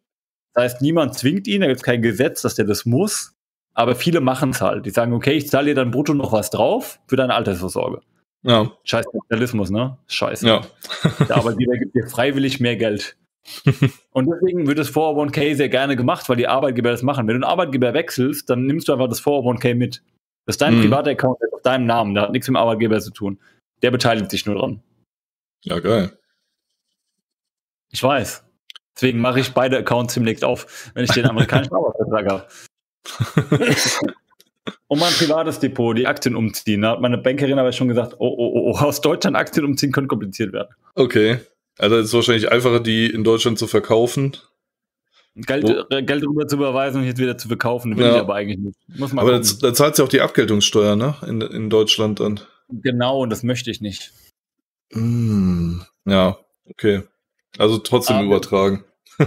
Wir haben wieder abgelenkt. Wir waren jetzt bei Steuern, wir wollten aber ja, genau. eigentlich zum Thema, zum Thema Kosten und so weiter, ne? Ich wollte sagen, was günstiger ist. Also günstiger ja. ist der Sprit. Der aktuell liegt er bei 3,40 Dollar ungefähr die Gallone. Also ist ungefähr ein Do grob ein Dollar, ein bisschen weniger als ein Dollar pro Liter. Mhm. Also all in, ne? Mit Text ja. drauf und alles. Ähm, nicht wundern, Preise in Supermärkten sind immer ohne Steuer ausgezeichnet. Mhm. Nicht wundern, dass am Ende mehr rauskommt, was du wolltest. Auch im Restaurant und so ein Scheiß. Ähm, was noch günstiger ist, der Strom, der liegt ungefähr bei 15 Cent die Kilowattstunde. Oh. Mhm. Roundabout. Ist aber vom Bundesstaat zu Bundesstaat unterschiedlich. Wieder von unterschiedlich, Region zu Region. hier aktuell, ne? Also zwischen 10 und 15. 10 war so jetzt, jetzt ein bisschen gestiegen, jetzt sind wir bei 15 ungefähr. Ähm, und das, ja, technische Produkte, sage ich mal, so Laptops, Handys und anderes ist ungefähr auf dem gleichen Niveau. Mhm. Vielleicht ein Ticken billiger, aber nicht viel ein Ticken billiger. Und alles andere ist teurer. Mhm. Also im Restaurant rechne, ich habe die grobe Regel, alles was mit Essen zu tun hat, rechne das Doppelte als wie in Deutschland. Okay, krass. Also du kannst Aber natürlich. Vor Corona-Zeiten oder jetzt? Weil wir ziehen ja, ja auch mittlerweile richtig an. Ähm, ja, ich kenne ja die, die Preise aus Deutschland, wie ich gegangen bin, also vor zwei Monaten mhm. ungefähr. Und äh, im Vergleich zu den Preisen jetzt in den USA ist ungefähr das Doppelte in den USA. Okay. Du siehst keine Shortages, also ich sehe nicht, dass irgendwo irgendein Regal mal leer ist oder so. Also das sehe ich hier gar nicht. Egal in welchem Laden ich bin. Heute noch gesehen. Äh, keine Ahnung. Kann, kann sein, dass es mal da war oder nicht. Äh, Autos sind gerade extrem teuer, immer noch, vor allem mhm. Gebrauchtwagen. Äh, das ist sogar schlimm, da gibt es ein Markup. Das heißt, du kannst sogar für einen Gebrauchtwagen aktuell mehr zahlen als für den Neuwagen, den gleichen. Was? Weil der Neuwagen nicht produziert werden kann, weil du dann halt irgendwie ein Jahr lang oder zwei Jahre noch drauf warten musst, bis er produziert ist. Mhm. Wenn du, du brauchst dein Auto aber einen sogenannten Markup bezahlen. Eine unverbindliche Preisempfehlung und ein Markup vom Händler, der dann sagt ja 1000. Das heißt, du zahlst den Preis, Neupreis plus 1000 für den Gebrauchten. Krass. Das kann vorkommen. Also aktuell sind Pickups ganz, ganz, ganz schlimm. Die kleineren Autos geht besser, aber Pickups gibt es gerade quasi sehr weniger auf dem Markt. Mhm. Also wenn du es kaufen möchtest. Ich meine, das ist, das ist aber auch nicht der Normalzustand. Das ist ja jetzt auch Maßnahmen pandemiemäßig und Lieferkettenmäßig ja. und, und Energiepreise bedingt und so, ne? Korrekt. Das ist jetzt so mal wieder der Staatsabfuck, der da jetzt reinspielt. Mhm. Aber der Amerikaner weiß, bei wem er sich zu bedanken hat. Immerhin wissen die das. wir, wir wissen ja. das nicht. Wir, wir bedanken uns bei den Ungeimpften. Genau. Uh, hier gibt es, glaube ich, mehr Ungeimpfte als Geimpfte in Texas zumindest. Naja, gut. Ja, Masken siehst du ja auch keine. Ähm, Handyvertrag. Also ich habe einen Handyvertrag, das ist so ein 5G-Vertrag mit kostenlos telefonieren in the Americas, also Mexiko, Amerika und äh, Kanada. Also sozusagen diese drei Länder, die immer zusammenhängen in so einem Ding. Also mhm. Amerika und Neighboring States. Und halt kostenlose Text und ich glaube 50 Gigabyte sind drin, bis es gedrosselt wird. Also die Verträge sind ähnlich wie hier.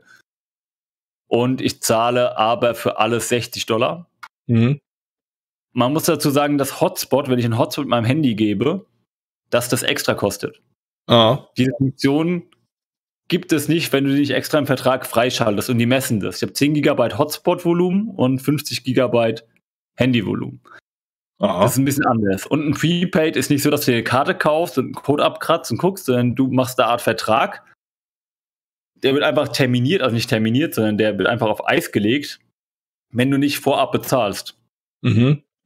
Das heißt, du musst dann immer jeden Monat mal reinchecken oder machst ein Autopay von deiner Kreditkarte, dass das Geld überwiesen wird. Ja. Genau. Okay. Das ist interessant. Ähm, ja, jetzt äh, wohnungstechnisch und so kannst du mir wahrscheinlich noch nicht so viel sagen, ne? Weil äh, ihr lebt ja noch äh, in einer vom Arbeitgeber mehr oder weniger bezahlt gestellten Wohnung. Ja, ich weiß, was sie kostet. also wir haben hier, ähm, ich müsste schätzen die Quadratmeter, ich kann es nicht genau sagen. Lass es vielleicht 80 sein, wenn es hochkommt, 80 mhm. Quadratmeter. Two Bedroom, two Bathroom, zwei Ankleideräume und eine offene Küche mit einem, mit einem Ding und einer kleinen Terrasse und ein Wohnzimmer, eine kleine Terrasse hinten raus. Möbliert, Komplettmiete, ähm, ungefähr mit Strom, also komplett alles drin, ja. ungefähr 1000, 1700 Dollar Oh. Pro ja. Person. Ja, okay, plus inklusive Pool, Fitnessraum und Ja, das ist so hier auch ein ne? Gelände. Das darfst du alles nutzen, ja. ja. Also 1700 pro Person, ja, mhm. ungefähr. Pro Person? Lass mich, nee, lass mich mal rechnen. Warte, warte, ich, ich prüfe das nicht. nicht, dass ich, nicht, dass ich jetzt Scheiße erzähle. Warte mal. Ja, da, da wären wir ja bei 3400. Ah, nee, warte, warte, warte, nein, nee, nee, ist weniger, Entschuldigung. Äh, ah. 1300. 1300 pro Person es ungefähr. Aha, okay. Also 2,6, 2,7 grob irgendwo dazwischen. Kann man mit dem Preis auch äh, rechnen zur normalen Miete, unmöbliert und Strom selber zahlen und kein Pool? Nee, ist billiger ist billiger, wie es Immobilierung kostet, wie in Deutschland auch, halt ein Markup. Ähm, ja. Hier macht es jetzt Sinn, weil sie halt nach einem Jahr geht und ich halt einen einfachen Einstieg habe. Mhm. Und ähm, ja, du kannst rechnen, also ich habe mal gerechnet, so ein Tausender müsstest du schon berechnen für auch ein Einzimmer-Apartment, was einigermaßen okay ist. Also nicht, dass du okay. so einen Hasenstall hast, sondern und das nicht in der Innenstadt, sondern das ist ein aber auch nicht auf, auf der Heide Heide, sondern so mhm. zwischen, im Speckgürtel, kannst du sagen. Könnte das mit der, mit der äh, Property Tax zusammenhängen, die die da haben? Weil die, die nee, haben ja, ja, die haben ja wahnsinnig hohe Property Taxes. Äh, also äh, hier nennt man das Grundsteuern. Äh, mm, möglich. Ist also möglich. ich, ich habe da ja schon von, von zwei bis äh, drei und, und teilweise vier Prozent, das wäre dann aber New York, äh, Innenstadt quasi gehört. Und also man muss ja mal überlegen, man, man, man zahlt da, selbst mit 2% Property Tax zahlt man innerhalb von 50 Jahren sein Haus zweimal. Ja, also einmal kaufst du das und einmal zahlst du die gleich, das gleiche Geld an den Staat. Das ist schon, ja. schon heftig. Und das, das äh, legen die Vermieter natürlich auch auf die Miete um. Ne? Also also wer 50 Jahre mietet, ja okay, hätte sich immer noch kein Haus leisten können, weil er ja trotzdem die Property Tax bezahlen muss, aber es ist absurd da teilweise. Ich weiß nicht, wie hoch die Tax ist, muss ich ehrlich gestehen, oder ob die Federal ist, da kenne ich mich noch gar nicht mit aus. Ähm, was auf jeden Fall klar ist, dass es auch wieder eine Shortage gab und deswegen wenig Häuser gebaut wurden. Ähm, Amerika ist ja noch ein Land, das bevölkerungstechnisch wächst. Ähm, das heißt, die haben halt sozusagen ein, ein Demand aber die kommen aktuell nicht unbedingt hinterher. Mhm. Zumindest hier in der Region. Ich weiß nicht, ob das in anderen Regionen anders ist. Also ich, ich würde auch aus Chicago wegziehen, ja, oder aus so, meiner Meinung nach Shithole States. Ähm, aber ist halt einfach so. Mhm. Also Texas wächst auf jeden Fall ziemlich enorm. Oh. Die ganzen Kalifornier kommen hier rein. Siehst du auch bei Tinder, wenn du swipest. Originär aus Kalifornien. ja, toll. Jetzt, machen, jetzt, haben sie ihr Land zu einem Shithole gemacht und machen das nächste, wie so Heuschrecken. Ja, genau. oh, kann man, dann, ich, ich weiß nicht, wir haben jetzt eine Stunde schon. Ich weiß nicht, ja. war das jetzt ein relativ guter Überblick? Ich denke, denke ja. Ich denke bisher schon, ja, doch. Ich wäre wär mal auf die Fragen eingegangen. Ja, klar, du, gerne, können wir machen. Jetzt mache ich den Host hier, geil. Ja, nee, ja, ja wir, wir, sind ja hier eigentlich ein relativ eingespieltes Team, ne? Das stimmt allerdings. Ähm, ähm, ja, wo, wo, fangen wir denn mit an? Ähm, ich, ich, wäre aufs Chaosbett gegangen und hätte erstmal die Twitter-Fragen gemacht. Ja, ich habe jetzt nicht mehr in der Reihenfolge, wie sie drin waren, blöderweise. Ähm, ich hätte mit Prinzessin Rena angefangen, ja. die gefragt hat, warum ich ausgerechnet nach Texas gehe, weil ich gesagt habe, das würde ich noch erzählen. Mhm. Also ich bin ja noch nicht so reich wie du, das heißt, ich habe ja noch, ich muss ja noch Lohnarbeit nachgehen, um, um zu überleben. Äh, also musste ich irgendein Land finden, das kein Shithole ist und äh, in dem ich ähm, mit, in dem ich arbeiten kann. Mhm. mhm. Also originär, mein Wunsch vor Corona war mal sowas, Neuseeland, Australien, vielleicht Großbritannien nach dem Brexit, äh, Schweiz, Liechtenstein, äh, USA. Das waren so die auf der Liste, bedingt dadurch, dass ich in der Sch äh, Schule Latein hatte und eigentlich nur Deutsch und Englisch spreche. Ergo fällt halt ziemlich viel weg. Kanada auf keinen Fall und alles andere, nee. So, da ist aber leider Australien Neuseeland aufgrund, äh, wie ihr bei JBM schon oft gehört habt, aufgrund ihrer Covid-Politik gleich rausgefunden, äh, gefallen ja. und ebenso England. Für mich sind auch viele Länder weggefallen. Dann bleibt eigentlich nur noch äh, Schweiz, Liechtenstein und ähm, USA übrig. In der Schweiz ist es so auf kippt es gerade, glaube ich. Also es ist so irgendwo, es wankelt so zwischen autoritär und freiheitlich und die lassen halt auch nicht jeden rein. Und Liechtenstein reinzukommen ist quasi unmöglich. Mhm. Außerdem kenne ich da niemanden und hätte keinen Job. Ähm, Und dann war es halt die USA. Und äh, ich wusste, dass ich in kein Shithole-State gehen möchte. Für mich sind halt äh, diese ganzen demokratisch regierten Shit, äh, Entschuldigung, Staaten, ich wollte schon wieder Shithole sagen. nix. Du siehst ja, wie es in Chicago und so weiter aussieht. Du kriegst es ja mit, ne? Also mhm. Chicago, Portland, eigentlich die komplette Ostküste mag ich überhaupt nicht und Kalifornien auch nicht. Und dann, also mir war klar, dass es irgendwo in die Südstaaten geht. Dann gibt es halt so ein paar Südstaaten, wo halt nichts ist, so wie Alabama. ähm, oder ja, also bei mir stand am Ende Florida oder Texas auf der Liste. Und mhm. da mein Arbeitgeber in Texas ist, war dann die Entscheidung relativ simpel. Ja. Also ja, ähm, alles. Damit ist ja eigentlich schon fast die nächste Frage von Miao C. Ding Dong beantwortet. Äh, welche Migrationsziele außer Texas siehst du sonst noch als erstrebenswert für Libertäre, sowohl andere US-Staaten als auch andere Länder an? Ist im Prinzip ja. beantwortet, ne? Oder? Es, ja, es, kommt, es kommt aber auch immer drauf an. Ja? Also, also wenn ich jetzt fließend Spanisch oder sowas sprechen würde, dann würde ich vielleicht sogar auch mal zumindest mal ein bisschen nach Südamerika gucken. Ja. Ob nicht da sich Chancen ergeben könnten. Mhm. also wir haben ja in, in Argentinien, äh, das halt, äh, wie heißt der wieder, El Salvador, ne? Mit ja. Bitcoin. El Salvador wäre eine Sache. Hast du, dann hast du äh, vielleicht Argentinien mit einem Libertären, der Präsident werden könnte. Mhm. Ähm, das sind halt schon Dinge, die man mal beobachten sollte, aber ich spreche halt einfach auf Verderben kein Spanisch. Ich meine, es bringt ja. mir halt einfach nichts. Ich brauche halt irgendeinen Job da unten und kann halt einfach mit Deutsch und Englisch relativ wenig anfangen. Mhm. Und bin halt auch nicht äh, self-employed, dass ich einfach mal sagen kann, wie andere hier bei den Marktradikalen, ah ja, ich mache Arbeit halt von wo ich will. ja, ja. Ja, habe ich demnächst ja auch nicht mehr. Da ist der Neid ein bisschen. nee, habe ich demnächst ja auch nicht mehr. Demnächst bin ich ja auch äh, fest in einem Gebäude drin. Also ich bin nicht fest angestellt, ne, aber äh, ich, ich besuche ja. dieses Gebäude zweimal die Woche. das, das wird dann von, von, von weit weg schwieriger. Ja, ansonsten, ja, Schweiz, klar. Ähm, ist eventuell noch interessant als Deutschsprechender. Ähm, äh, US-Staaten hat es ja noch Florida genannt, was noch attraktiv wäre. Ähm, Allgemein Südstaaten, also ich würde Louisiana vielleicht mal ausklammern und New Mexico auch. Mhm. Ähm, aber ja, allgemein Südstaaten sollte man mal gucken. Mhm. Die sind dann doch, die haben halt doch ein bisschen mehr Freiheiten als äh, die Nordstaaten. Mhm. Ein bisschen weniger die haben mehr Eigenverantwortung, mehr Risiko, mehr Eigenverantwortung, dafür mehr Freiheiten. Ja. Im Vergleich, ne? Also. Wie, wie das halt so ineinander geht, ne? Mit äh, Freiheit und Eigenverantwortung. das stimmt leider, ja. Ja. Bitcoin.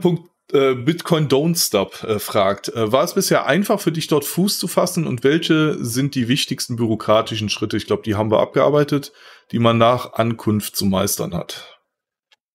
Ja, gut, Bankkonto, also solche Security-Nummer, Bankkonto, äh, Führerschein und halt gucken, dass dein Visum läuft. Und das wäre eigentlich schon was. Ne? Also die, das, der texanische Führerschein ist auch deine Identification. Ne? Also die haben keinen Pass wie wir, mhm. also keinen Ausweis. Die kennen auch, wenn die nach einem Passport fragen, meinen die den Reisepass. Die kennen keinen Personalausweis. Das gibt's hier nicht. Mhm. Dein, dein, dein Führerschein ist dein Personalausweis quasi in einer, einem Ding. Mhm. Ja, und äh, viel ist ja äh, bisher einfach oder leicht, äh, dort Fuß zu fassen. Wie ist es sprachlich Barriere oder so? Äh, kommst du da klar? Mm, ja, Sprachbarriere, also die verstehen alle Englisch, ne? das ist halt. Ja, also die, ja. Reden halt, die reden halt einen Akzent. Äh, die Texaner reden tendenziell auch schnell. Da muss man ein bisschen mal aufpassen und so. Ich habe einen Kollegen aus Louisiana, der ist, der ist schlimmer. Also der, der hat einen ganz derben Akzent, wo ich dann sage, Kevin, langsam. Ne? Ich, ich, dummer Deutscher, ich nicht immer alles verstehen, was du sagst. ähm, du merkst, ja, aber ansonsten, eigentlich will dir jeder helfen. Also wenn du nett nachfragst. Es sind halt mhm. halt auch viel oft mal so diese, das gibt es halt in den USA, diese, ja, äh, wenn irgendwas ist, melde dich bei mir, was halt nicht so gemeint ist, ne? Was mhm. einfach nur aus Nettigkeit gesagt worden ist. Das ist halt in Deutschland anders. Ne? In Deutschland ist so, ja, melde dich, wenn du was brauchst, dann heißt es, melde dich, wenn du was brauchst. Und hier ist es halt so, ich sage das jetzt, weil man das halt jetzt zu diesem Zeitpunkt sagt. Mhm. Ja, okay. Ja. ich bin halt dann so, ich sage den Leuten dann gleich, I'm German, I take you for granted. Ja? Damit die halt wissen, in Deutschland machen wir, bieten wir sowas nicht an. Wenn du mir das anbietest, meine ich es ja. ernst. Ich habe letztens bei, ich weiß nicht, ob du den Kanal kennst, Leben USA, der ist nach Kalifornien ausgewandert, vor mein mehreren Jahren auch. Äh, und äh, der sagte auch, ähm, äh, wenn, wenn du dort eingeladen wirst zum Essen oder so, du hilfst irgendwie beim Umzug oder so und jemand lädt dich zum Essen ein, heißt das nicht, dass der auch bezahlt? Ist das also tatsächlich so? Das weiß ich nicht, war bis jetzt nur bei meinem Chef zum Essen eingeladen, äh, mit der Kollegin zum 4. Juli. Ja, gut, bei, bei ihm persönlich. War, genau, aber dann haben ah, wir halt vorher aufgemacht. Gut, er ist halt, er ist Amerikaner, aber er hat halt irgendwie 20 Jahre in Deutschland gelebt. Also ja, okay, gut, ja klar. Dann gesagt von wegen, ja, okay, könnt ihr Feuerwerk mitbringen und wir machen halt den Rest. Ja. Und dann war eigentlich geklärt, okay, wir kaufen halt Feuerwerk und Essen und Getränke gibt's halt bei ihnen, ne? Dann ist die Sache. Ja, okay. Mhm. Ich kann ja nicht sagen, ob das so ist oder nicht. Ich wurde noch nicht eingeladen. Ähm, ja. Das ist aber auch hier, in Amerika ist es so, wenn dich jemand in dein Haus lässt, also so habe ich es jetzt zumindest von Leuten erfahren, wenn du bei denen eingeladen bist zu Hause, dann ist es wirklich schon, dass du ein echter Freund bist. Also die mhm. haben echt dieses Eigentum. Das ist mein Haus, hier kommen keine Bekannten rein, hier kommen halt nur Freunde rein. Ja. Das ist mein das ist mein Space, ja. Und das ist schon anders als in Deutschland. Mhm. Definitiv. Ja, krass. Ansonsten, die Leute, sind, die Leute sind alle nett und wenn du fragst, versuchen sie dir zu helfen. Die meisten können dir halt einfach nicht helfen, aber die versuchen es dann schon. Also die Kollegin mhm. hat wegen der DPS-Termin da mit denen telefoniert und so, ich gesagt habe, ja, ich habe keine Ahnung, wie man mit Behörden hier reden muss. Ne? Kannst du da mal anrufen, bitte? Weil die, ne, die spricht halt, das ist wie mit diesem äh, Beamtendeutsch halt. Ne? Also wenn ja. du hierher kommst, dann kannst du Deutsch, aber du kannst ja kein Beamtendeutsch. Und ich lese dann diese Seite und sag so, ey, Timber, ich habe keine Ahnung, was, was heißt denn das? Kannst du mir da den mal anrufen? Was brauchen die denn genau von mir? Ja, ich, ja Forms of Identification. Ja, welche? Ich bin ja, jetzt haben natürlich auch nicht jeden Tag einen Deutschen da, der halt irgendwie nicht weiß, was da hier jetzt gebraucht wird, sondern aber ja mhm. gut. Ja, so krass. ich halt. Dann haben wir Und von äh, ein, eine kurze Sache noch, die ja. Bürokratie ist genauso schlimm wie in Deutschland. Also, also sobald du in einem Federal-Ding bist, Social Security Nummer macht die County, ja. Das geht ganz schnell, aber sobald du bei einem Federal bist, beim DPS, wenn du keinen Termin hast, kommen Leute zwei Stunden bevor die aufmachen damit die an dem Tag noch drankommen. Die nehmen einen Tag Urlaub, damit die, die für die Führerscheinstelle. Was? Und warten einen Dreivierteltag. Also es ist quasi wie in Deutschland. Okay. Nee, geil. Ja, der äh, Itchner Kaiser, der Freninator, meine Güte, was ist das wieder für ein, ein Name? Äh, wie äh, stehst du zur deutsch-texanischen Enklave und äh, heißt du äh, Ex Exklave, Entschuldigung, ja, natürlich. Und äh, heißt du jemanden aus äh, der Gegend, hast du jemanden aus der Gegend bereits kennengelernt? Also, äh, ja. Ich meine, du, du hast deine Kollegin quasi ja mitgebracht. Du kennst da ja, jetzt die jemanden? Paar, die kam ein paar Tage nach mir, ja, aber ja. ansonsten habe ich quasi mitgebracht. Ähm, also ich, sag, also ich sag mal so, diese, diese Deutsch-Texaner, die sind eher vertreten in der Region Fredericksburg, Austin. Also die sind ein bisschen weiter südlich. Das ist so drei, vier Stunden von hier. Aha. Also die nächstgrößere Stadt ist vier Stunden entfernt, was hier halt, ne? Also, damit ihr eine kurze Einschätzung habt, was es geht. Ähm, hier gibt es so ein paar kleinere ähm, Munster, gibt es noch, also Münster in Englisch ausgesprochen, Munster. Mhm. Ähm, und noch ein paar, wie heißt die denn nochmal? Ich hab schon vergessen. Ach, fuck. New Braunfels, New Brown, also Neubraunfels, New Braunfels. Mhm. Ähm, aus Fredericksburg gibt es teilweise gutes Bier, also das heißt Pilsner und schmeckt wie Pilsner. Ich hatte gestern zum ersten Mal ein amerikanisches Bier, Miller Light. Das schmeckt aber nur wie Wasser mit einem Nachgeschmack von Pilsner. Mhm. Also irgendwie so abgestandenes, also Wasser, das im Pilz kurz drin war und dann rausgesogen worden. Ich, scheiße.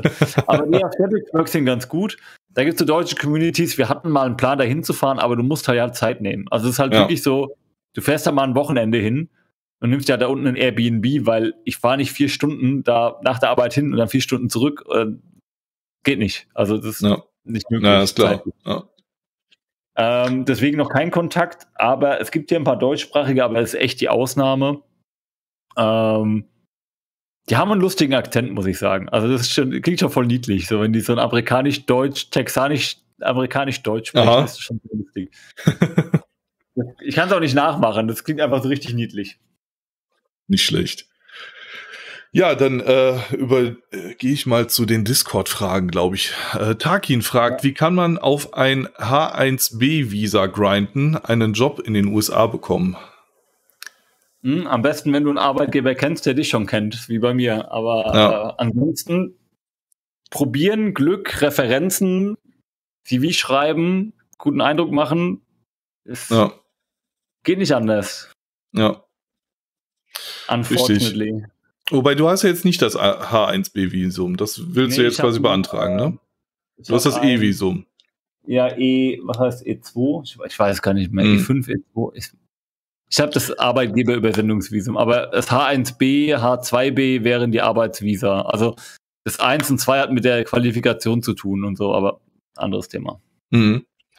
Ähm, dann fragt ähm, der äh, Cynic, äh, kommst du zum nächsten Float-Fest 2023 nach Gorsch, Gauge? der hat auch irgendwie eine URL reingepackt, die nirgendwo hinführt bei mir. Ja, ich gucke gerade mal, wo Gorsch, Gorg sein soll. Also es gibt hier Gorg Capital. Das ist wohl eine Firma, die sitzt in South Lake. Das ist richtig sehe. Es gibt noch, in Austin gibt es einen Laden, da ist Gorg Jam, das sieht Yarn, ein Wollgeschäft. Ich weiß leider nicht, was er möchte. Ich weiß es auch nicht. Also äh, war mir auch nicht bekannt bisher. Sorry für, ich weiß nicht, was du meinst. Dann, dann kommen wir jetzt praktisch auch zu dem Waffenthema, worauf alle ganz gespannt warten. Okay. Fetter Frosch fragt, was für Knarren hast du schon? Da Keine. kannst du ja jetzt mal erzählen, warum denn nicht? Warum denn nicht? Weil der texanische Bundesstaat sagt, mir egal, wer hier Waffen hat, aber leider hat Washington da was gegen. Washington sagt nämlich, wie, du bist jetzt noch keine Green Card? Ja, dann äh, kannst du hier äh, leider keine äh, Waffen kaufen.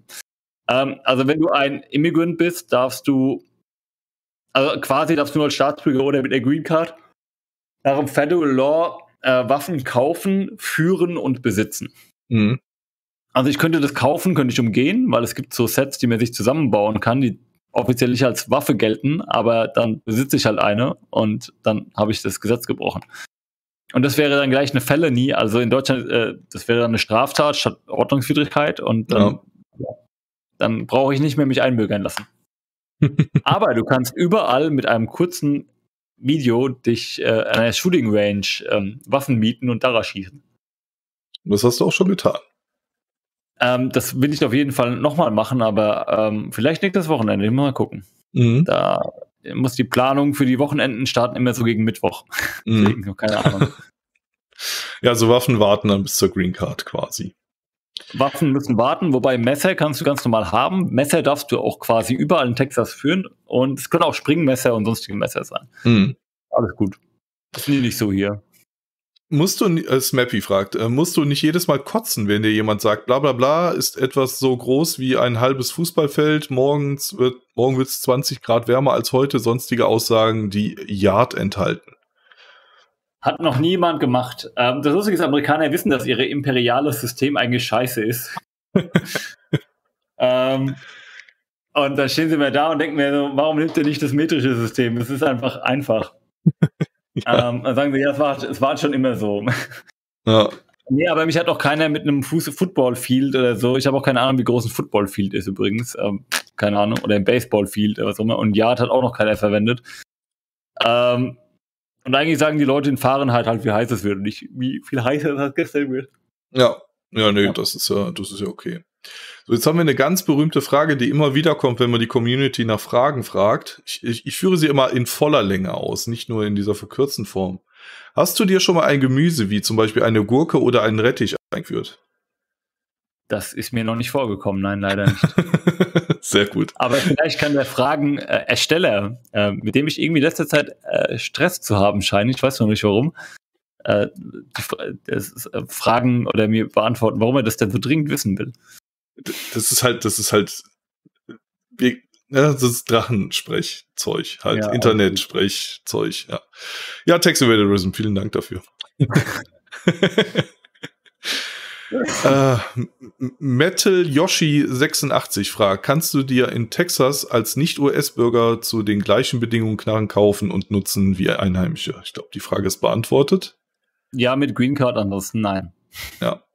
Wirst du dich mit der, äh, Germs fragt, Liber äh, wirst du dich mit der Libertarian Party Texas in Verbindung setzen? Äh, vielleicht mal in der Zukunft, aber aktuell, äh, solange ich noch nicht selber in meinem Apartment wohne und alles geregelt ist, lasse ich das erstmal ruhen, weil die erstmal die privaten Themen vorgehen und wenn das alles steht, dann könnten wir ja. ja mal auf die Seite gehen und mal gucken, ob da irgendwelche lustigen Gesellen unterwegs sind. Mitka fragt, darf man mit einem deutschen Führerschein der Klasse B in den USA Motorrad oder LKW, in Klammern privat fahren, beziehungsweise wenn man ihn umschreiben auf einer äh, umgeschrieben auf einen amerikanischen Führerschein umgeschrieben hat? entweder habe ich die komisch vorgelesen oder ist komisch gestellt, aber die Frage ist, darf man da mit dem, mit dem Klasse B Führerschein, dem man ja, dem man ja in Deutschland kein Motorrad fahren darf, äh, in den USA Motorrad fahren? Das ist eine gute Frage, die ich auch nicht beantworten kann. Ähm, ah, okay. Das wei weiß ich aktuell nicht, aber wenn es so wäre, wäre es eigentlich ziemlich cool, dann würde ich mir einen LKW noch holen. Heimatloser. Ja, ich dir Bescheid. Heimatloser fragt, in, ist in den USA wirklich alles größer? Mein, äh, meine, mein Penis ist um sieben Yard gewachsen. also ja. Nein. Also ein Inch sind 2,54 Zentimeter für diesen ähm, nee, aber äh, wo ja. wir schon bei LKWs sind, die Autos sind auf jeden Fall äh, größer. die Parkplätze sind größer. Ähm, die Portionen sind also quasi ja. Also, also alles, was du so ein bisschen encounterst, ist ein bisschen größer, außer die Leute. Also die Leute sind auch so, also die sind so groß wie Deutsche auch. Also. Mhm. Es gibt, was mir halt aufgefallen ist, es gibt so ein Land der Gegensätze, ne? Also du findest entweder, äh, du findest hier entweder bei den Menschen entweder extrem fette oder extrem trainierte, aber dieser Middle Ground, so normal, also wie, mhm. ne? Also was eigentlich so, so wie ich oder ja.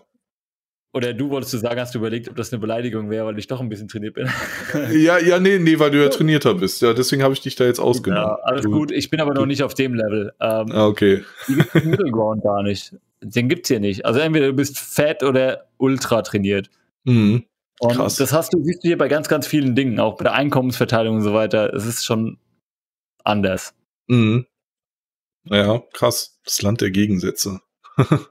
äh, eine wahrscheinlich sehr ernst gemeinte Frage von MFK. Wie viele Leute wurden in deiner Straße die letzten paar Wochen erschossen? Äh, lustige Story. Ich habe mir ein bisschen. Mal, ich dachte, du sagst keiner, aber. nein, nein, ne, in meiner Straße wurde keiner erschossen. Was ich interessant fand, ich habe mal, seitdem ich hier bin, natürlich in der, im Großraum Dallas, also wir reden jetzt über dreieinhalb Millionen Leute ungefähr, ne? Also ja. so, also die ganzen Städte, die an Dallas dran. Ich habe da mal geguckt und gesagt, okay, wie viele Sachen mit Waffen passieren hier? Also mhm. wirklich passieren. Es gab, seitdem ich hier bin, zwei Monaten zwei Fälle. Mhm. So, das eine war ein Ehemann bei sich zu Hause, der seine Frau bedroht hat, ist aber nichts passiert. Polizei kam, festgenommen, weg. Ja? ja. Null, null, Tote, null Verletzte, alles gut. Das zweite war ähm, eine, auch eine Frau diesmal, die war an einem, nicht am Hauptflughafen, sondern an so einem kleineren Flughafen außerhalb glaube Lawfield war es, also Dallas Lawfield heißt er, glaube ich. Und hat da eine Waffe am Flughafen gezogen und in die Luft geschossen. Oh, krass. Und die wurde dann da, also nur in die Luft, die hat keinen erschossen, der was ja, immer sein. Die, hat, die Leute gehen davon aus, dass die Selbstmord begehen wollte, weil, was macht natürlich der Flughafenmensch? Der erschießt sie sofort, weil die ja, hat eine Waffe ja. und schießt in den Flughafen. Ja. Das sind die einzigen Dinge, die passiert sind. Also es ist keiner bis auf die eine Frau gestorben. Und da geht man aus, dass das extra so gewollt war, dass es ein Selbstmordversuch ist. Also es war erfolgreich, der Selbstmord übrigens. Mhm. Okay. Ja, krass. Ähm, dann fragt Heimatloser, äh, mit den Zahlen kann ich überhaupt nichts anfangen. NIJ3 oder lieber NIJ3A für den ersten Schultag? Ja, Ist, unbasiert. Sind das Schutz, Schutzwesten? Mhm. oder sind das irgendwelche Raketenwerfer? ähm, also wir sind hier, wir sind hier natürlich, ähm, wir sind hier natürlich in Texas, deswegen brauchst du keine Schutzwesten, weil äh, die äh, Bevölkerung bewaffnet ist. So, weiter geht's. Sehr gut. Ähm, ich glaube, das nächste ist keine Frage. Genau. Äh, Jannis ja, fragt, äh, wie viel Geld gibst du für deine Krankenversicherung aus? Das hatten wir, glaube ich, auch noch gar nicht, ne? Äh, ja, Krankenversicherung. Ähm, aktuell bin ich, habe ich, also ich bin ja übersendet. Das heißt, theoretisch zahlt meine deutsche Krankenversicherung, die aber in den USA keine Leistung erbringt. Also ja. hat man Arbeitgeber, ähm, also es gibt kein Sozialversicherungsabkommen mit den USA und deswegen fühlt sich halt die deutsche Krankenkasse nicht zuständig. Die amerikanische natürlich auch nicht, weil die sagt halt, du bist ein deutscher Angestellter, ist mir egal. Mhm. Also hat mein Arbeitgeber eine Zusatzversicherung gemacht mit dem Leistungsspektrum meiner Krankenversicherung in den USA. Also ich habe jetzt gerade das Wenn ich einen amerikanischen Vertrag bekomme, habe ich dann meine. Ich habe jetzt Kollegen gefragt, welche Versicherung sie haben. Die wird über den Arbeitgeber gestellt, also zumindest die Auswahl. Du kannst dann zwischen fünf verschiedenen wählen, also bei mir. Es gibt auch viel mehr. Ähm, ich kann mir auch privat versichern und sagen, Arbeitgeber, ich will das nicht, aber es ist halt günstiger, wenn ich es über ihn mache. Ja. In der Regel kann man sagen, ich weiß von einem Kollegen, der zahlt zum Beispiel nur für sich alleine. Der hat halt auch die Familie mitversichert, deswegen wird es dann natürlich teurer. Aber nur für sich alleine würde der 50 Dollar im Monat zahlen. Dann nochmal 5 für ähm, Zahnarzt und 5 für äh, Auge, also für ne, ja. Augenarzt. Das heißt jetzt bei 60 Dollar im Monat. Aber und mit hoher Selbstbeteiligung wahrscheinlich auch. Ähm, der hat eine Selbstbeteiligung, aber das sind, glaube ich, im Jahr 1500 Dollar. Mhm. Also maximales Risiko, was er hat, sind 1500 Dollar im Jahr. Ja. Wenn er krank ist. Also die Krankenversicherung, es kommt echt drauf an. Wenn du keinen Arbeitgeber hast und krank bist, ist die deutlich teurer als in den USA. Wenn du dauerhaft als Medikamente brauchst und hast, also Entschuldigung, als in Deutschland, ja. Wenn du dauerhaft Medikamente brauchst, Diabetes, Insulin, die, zur Dialyse musst und deine Krankenkasse es nicht abdeckt, dann bist du auch deutlich, deutlich teurer. Wenn du einen Arzt aufsucht, der nicht in dem Netzwerk deiner Krankenkasse ist, rechnet er sich voll ab. Dann wird es auch teurer. Wenn du aber alles beachtest und vielleicht nicht den schlechtesten Vertrag hast und auf alle Medikamente angewiesen bist, ist es tendenziell eher billiger als in Deutschland. Mhm. Es ist halt immer so eine Sache. Also ich nehme einen Vertrag, der würde mich am Ende, kostet mich ungefähr 150 bis 200 Dollar im Monat. Mhm. Ich habe zwar auch noch eine Selbstbeteiligung, aber alles andere ist flat for free. Ich muss mir ja. nichts kümmern. Ich habe die eierlegende Wollmilchsau-Vertrag mit ein bisschen Selbstbeteiligung. Mhm. Ja, was dann nicht schlecht ist. Sozusagen, ja. Also bei mir ist dann der Cap, glaube ich, 3000 Dollar im Jahr oder so. Du musst mhm. halt aber 3000 Dollar vorhalten können irgendwie. Ja. Das hat alles. Ja, und ich meine, äh, am, am, Ende, wenn du es dir dann auf einen Monat umrechnest, bist du ja bei unter 300 Euro äh, plus die äh, 200, die du vorauszahlst oder 150, bist du auch nicht teurer als in Deutschland. Richtig. Ja. Bloß, dass du hier einen Termin bei deinem Arzt bekommst. Ja. so ist es. Ähm, dann kommt noch mal äh, eine Frage von, äh, ach so, Entschuldigung, ich habe jetzt bei, bei einer Miss Markt radikal äh, äh, über, überflogen hier. Äh, Lebenshaltungskosten und Überschuss nach Abzug aller Fixkosten höher oder niedriger für dich? Also ich nehme an, inklusive Steuern, äh, Wohnen und so weiter. Aber das ist jetzt auch noch nicht so 100% sicher, ne? weil du ja noch nicht die, die eigene Wohnung, äh, ist zwar jetzt eine eigene ja. Wohnung, aber ich, ich kenne die Preise aber einigermaßen äh, hier in der Region. Also ich mache es mal um. Also es kommt etwa aufs Gleiche raus. Etwa. Mhm. Wenn ich das gleiche Gehalt haben würde wie in Deutschland. Ja. Das heißt, wenn ich einfach nur das deutsche Gehalt transferiere in, in Dollar umrechne, was ja zum Glück 1 zu 1 ist, deswegen ist es einfach, ne, 1 zu 1 Dollar umrechne und sage, okay, äh, jetzt zahle ich statt, äh, jetzt zahle ich nur noch die amerikanische Steuer, amerikanische Sozialversicherung, dafür zahle ich die Krankenkasse und die höheren Preise für alles dann kommt es wahrscheinlich aufs Gleiche raus. Der Unterschied ist aber, das Lohnniveau in den USA ist deutlich höher. Mhm.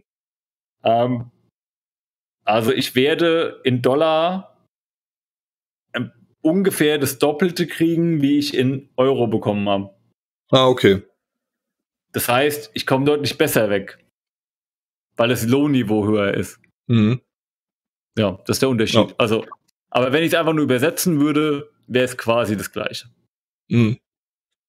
Ähm, die nächste Frage ist praktisch äh, identisch. Aquila, was verdienst du ungefähr? Was hast du äh, für den Lebensunterhalt äh, an Kosten und was an Abgaben in welcher Höhe? Also das haben wir, glaube ich, über den gesamten Podcast schon ausgebreitet, ne? Ja, ich könnte noch kurz sagen, was ich dann verdienen werde ungefähr. Also es wird sechsstellig sein. Ähm, alles, was hier mit IT zu tun hat und irgendwie nicht gerade, keine Ahnung, eine ist eine Steckerleiste montiert, ist hier quasi schon, quasi irgendwie schon sechsstellig. Mhm.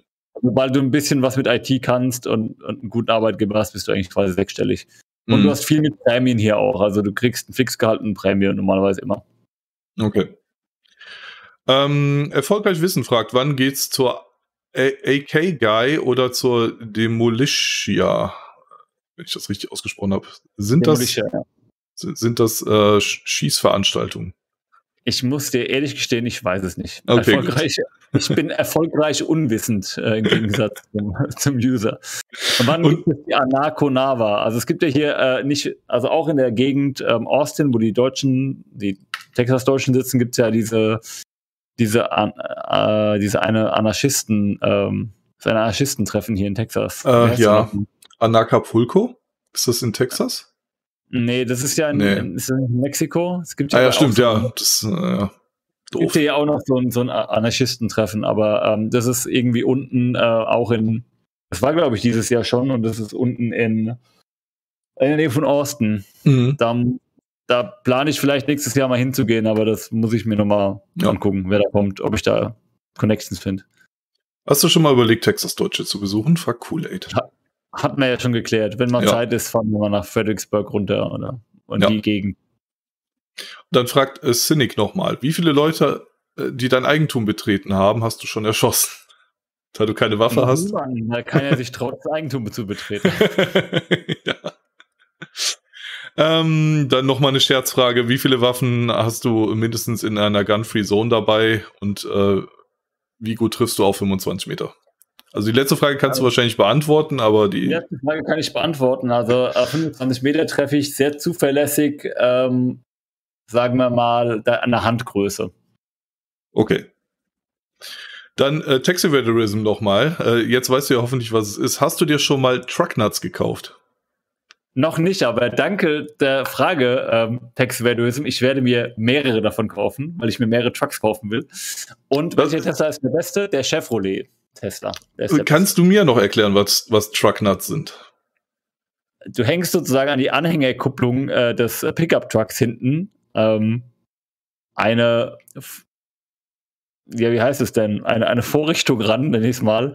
Aha. Aus, äh, die aussieht wie zwei, ähm, äh, wie Hoden. wie ein Hodensack. Ach so, okay. das heißt, während du, fährst, wenn du fährst, wackeln da zwei Hoden hinten an deinem Auto. Okay, okay, jetzt kann ich mir was drunter vorstellen. äh, dann fragt Kool-Aid, ist das Tankstellengras gut? Ähm, in Texas ist, äh, gibt es kein Gras, ist nicht legalisiert, aber da ja Oklahoma nur 40 Minuten von mir entfernt ist, ist da, da ist Glücksspiel und Gras legalisiert, könntest du das dort kaufen, konsumieren und wieder zurückfahren, wenn du Bock hast. Ähm, und Glücksspiel machen. Das gibt es beides in Texas leider nicht, deswegen weiß ich nicht, ob das Tankstellengras gut ist. Ich bin mhm. auch noch nicht nach Oklahoma gefahren, die Kollegen waren mal da ähm, im Casino, aber ich muss es noch tun. Irgendwann. Sehr gut. Ich kann noch keine Aussage treffen. Marvin fragt Bodycount bisher. Jetzt weiß man nicht, welchen er meint. Ja, ich weiß auch nicht, welchen er meint.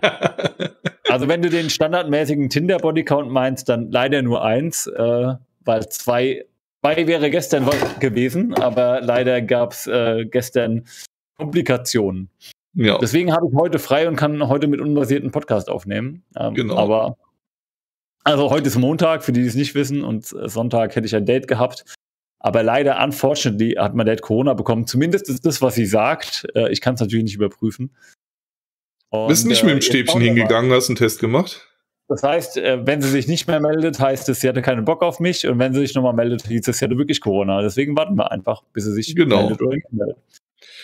Und die letzte, die letzte Frage wäre von Methos. Wie kompliziert ist die Einführung von Waffen, die du bereits in DE erworben hast?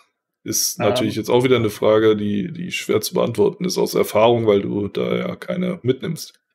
Ja, ich hatte, ich hatte äh, meine Armbrüste habe ich ja veräußert. Also meinem Vater habe ich eine geschenkt und ich habe ja an einen, einen marktradikalen Mitglied meine Adder verkauft. Ja. Ich habe äh, ich hab ein paar Messer mitgenommen und die Einfuhr war sehr reibungslos, weil du musst nur gucken, in dem Staat, in dem du landest, wie die Waffen Messengesetzgebung ist. Und da die in Texas deutlich relaxter ist als in Deutschland, war es überhaupt kein Thema, die deutschen Messer mitzunehmen. Mhm. Hat auch niemand nachgefragt. Wir waren einfach im Koffer drin, also natürlich im Aufgabegepäck, ne, weil. Ja, im Handgepäck geht's natürlich nicht, ne?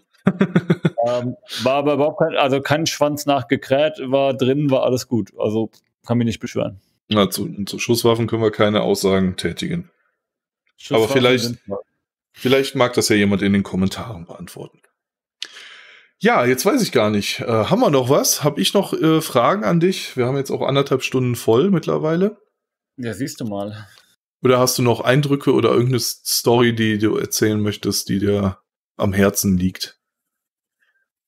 Ähm, ich finde es schön, dass die Leute hier, ich habe es vorhin schon mal andeuten lassen, wirklich wissen, dass, sagen wir mal, oder zumindest das Ausdrücken, dass der Staat er der Problemverursacher ist und dass man vielleicht nicht immer auf ihn hören sollte. Und das finde ich halt sehr, sehr angenehm hier. Und ich weiß auch, dass das hier nicht der, der, der, der Himmel für alle Libertären ist. Ähm, ich meine, hier gibt es auch Gesetzgebung, wo du sagst, was, was zum Fuck. Mhm. Äh, aber im Vergleich zu Deutschland, ich, ich bereue es bisher nicht. Also ich bereue es wirklich gar nicht. Das Einzige, was wehtut, ist das Wetter draußen. Wenn ich jetzt gleich dampfen gehe auf dem Balkon, brechen mir wieder die 40 Grad rein und ich schaffe es mhm. wahrscheinlich, fünf Züge zu nehmen und gehe wieder rein, weil ich nicht mehr kann. Ja. Aber eigentlich kannst du dich nicht beschweren. Also. Und ich habe abgenommen, seitdem ich hier bin. Wichtig. Das, das trotz äh, Fast Food. ja, aber ich esse ja nicht jeden Tag Fast Food insofern. Ja. Nee, gut. Ja, aber freut mich, dass du es bisher noch nicht bereut hast. Also sprechen wir uns in einem Jahr nochmal wieder, wenn du nochmal mehr Erfahrungen hast, wenn du dein Visum hast. Also wir ja. sprechen uns am Sonntag wieder, aber. Vorher, wir müssen halt mal gucken. Wir haben, wir haben überlegt, noch eine zweite Folge aufzunehmen, wenn ich so komplett gesettelt bin. Ja, so das waren jetzt die ersten Eindrücke, mal nach, nach eineinhalb Monaten, sagen wir mal, grob. Das waren so die ersten Eindrücke und ähm, dann schauen wir mal weiter, wie es dann so vielleicht nach einem Jahr oder zwei aussieht und dann dann genau. bin ich entweder schon äh, erschossen worden in der, in der Hochschule oder ne, wissen wir nicht. Schauen wir mal. wir werden sehen, genau. Ja gut, dann äh, danke ich dir für äh, die Einblicke und für deine Zeit. Und äh, was hast du gleich noch vor? Ähm, ich gehe natürlich ins Fitnessstudio, weil ist ja umsonst. ist ja umsonst. Ist ja wie bei die Kommis. ja, wir haben jetzt, wir haben jetzt knapp 14 Uhr, jetzt mal dampfen, dann äh, wahrscheinlich fürs Fitnessstudio fertig machen und dann rüber. Es wird eine Stunde, zwei dauern. Da ich heute frei habe, gucken, ob sich noch ein Mädel meldet auf diversen Plattformen oder nicht. Und ansonsten so. heute Abend einen Film reinknallen und die Sache ist gegessen. Oder ein Sehr Pool. Gut. Pool war auch schön gestern. Pool war auch gut. Den habe ich ja gesehen. Der, der, der sieht schön aus. Ja. Der ist leider nicht tief, der hat nur 4 Feet Dip, Deep, Deep Dip, ja. äh, 4 Feet sind äh, Meter, Meter 40 ungefähr. Der ist nicht tief halt, ne? Zum, halt zum Planschen. Planschen ja. ja. Ja gut, dann wünsche ich dir einen schönen Tag und den Zuhörern und Zuschauern äh, auch noch, ja, ebenfalls einen schönen Tag, eine schöne Nacht, wann auch immer ja, ihr hier zuhört. Gut, dann auf Wiederhören. Ciao, ciao.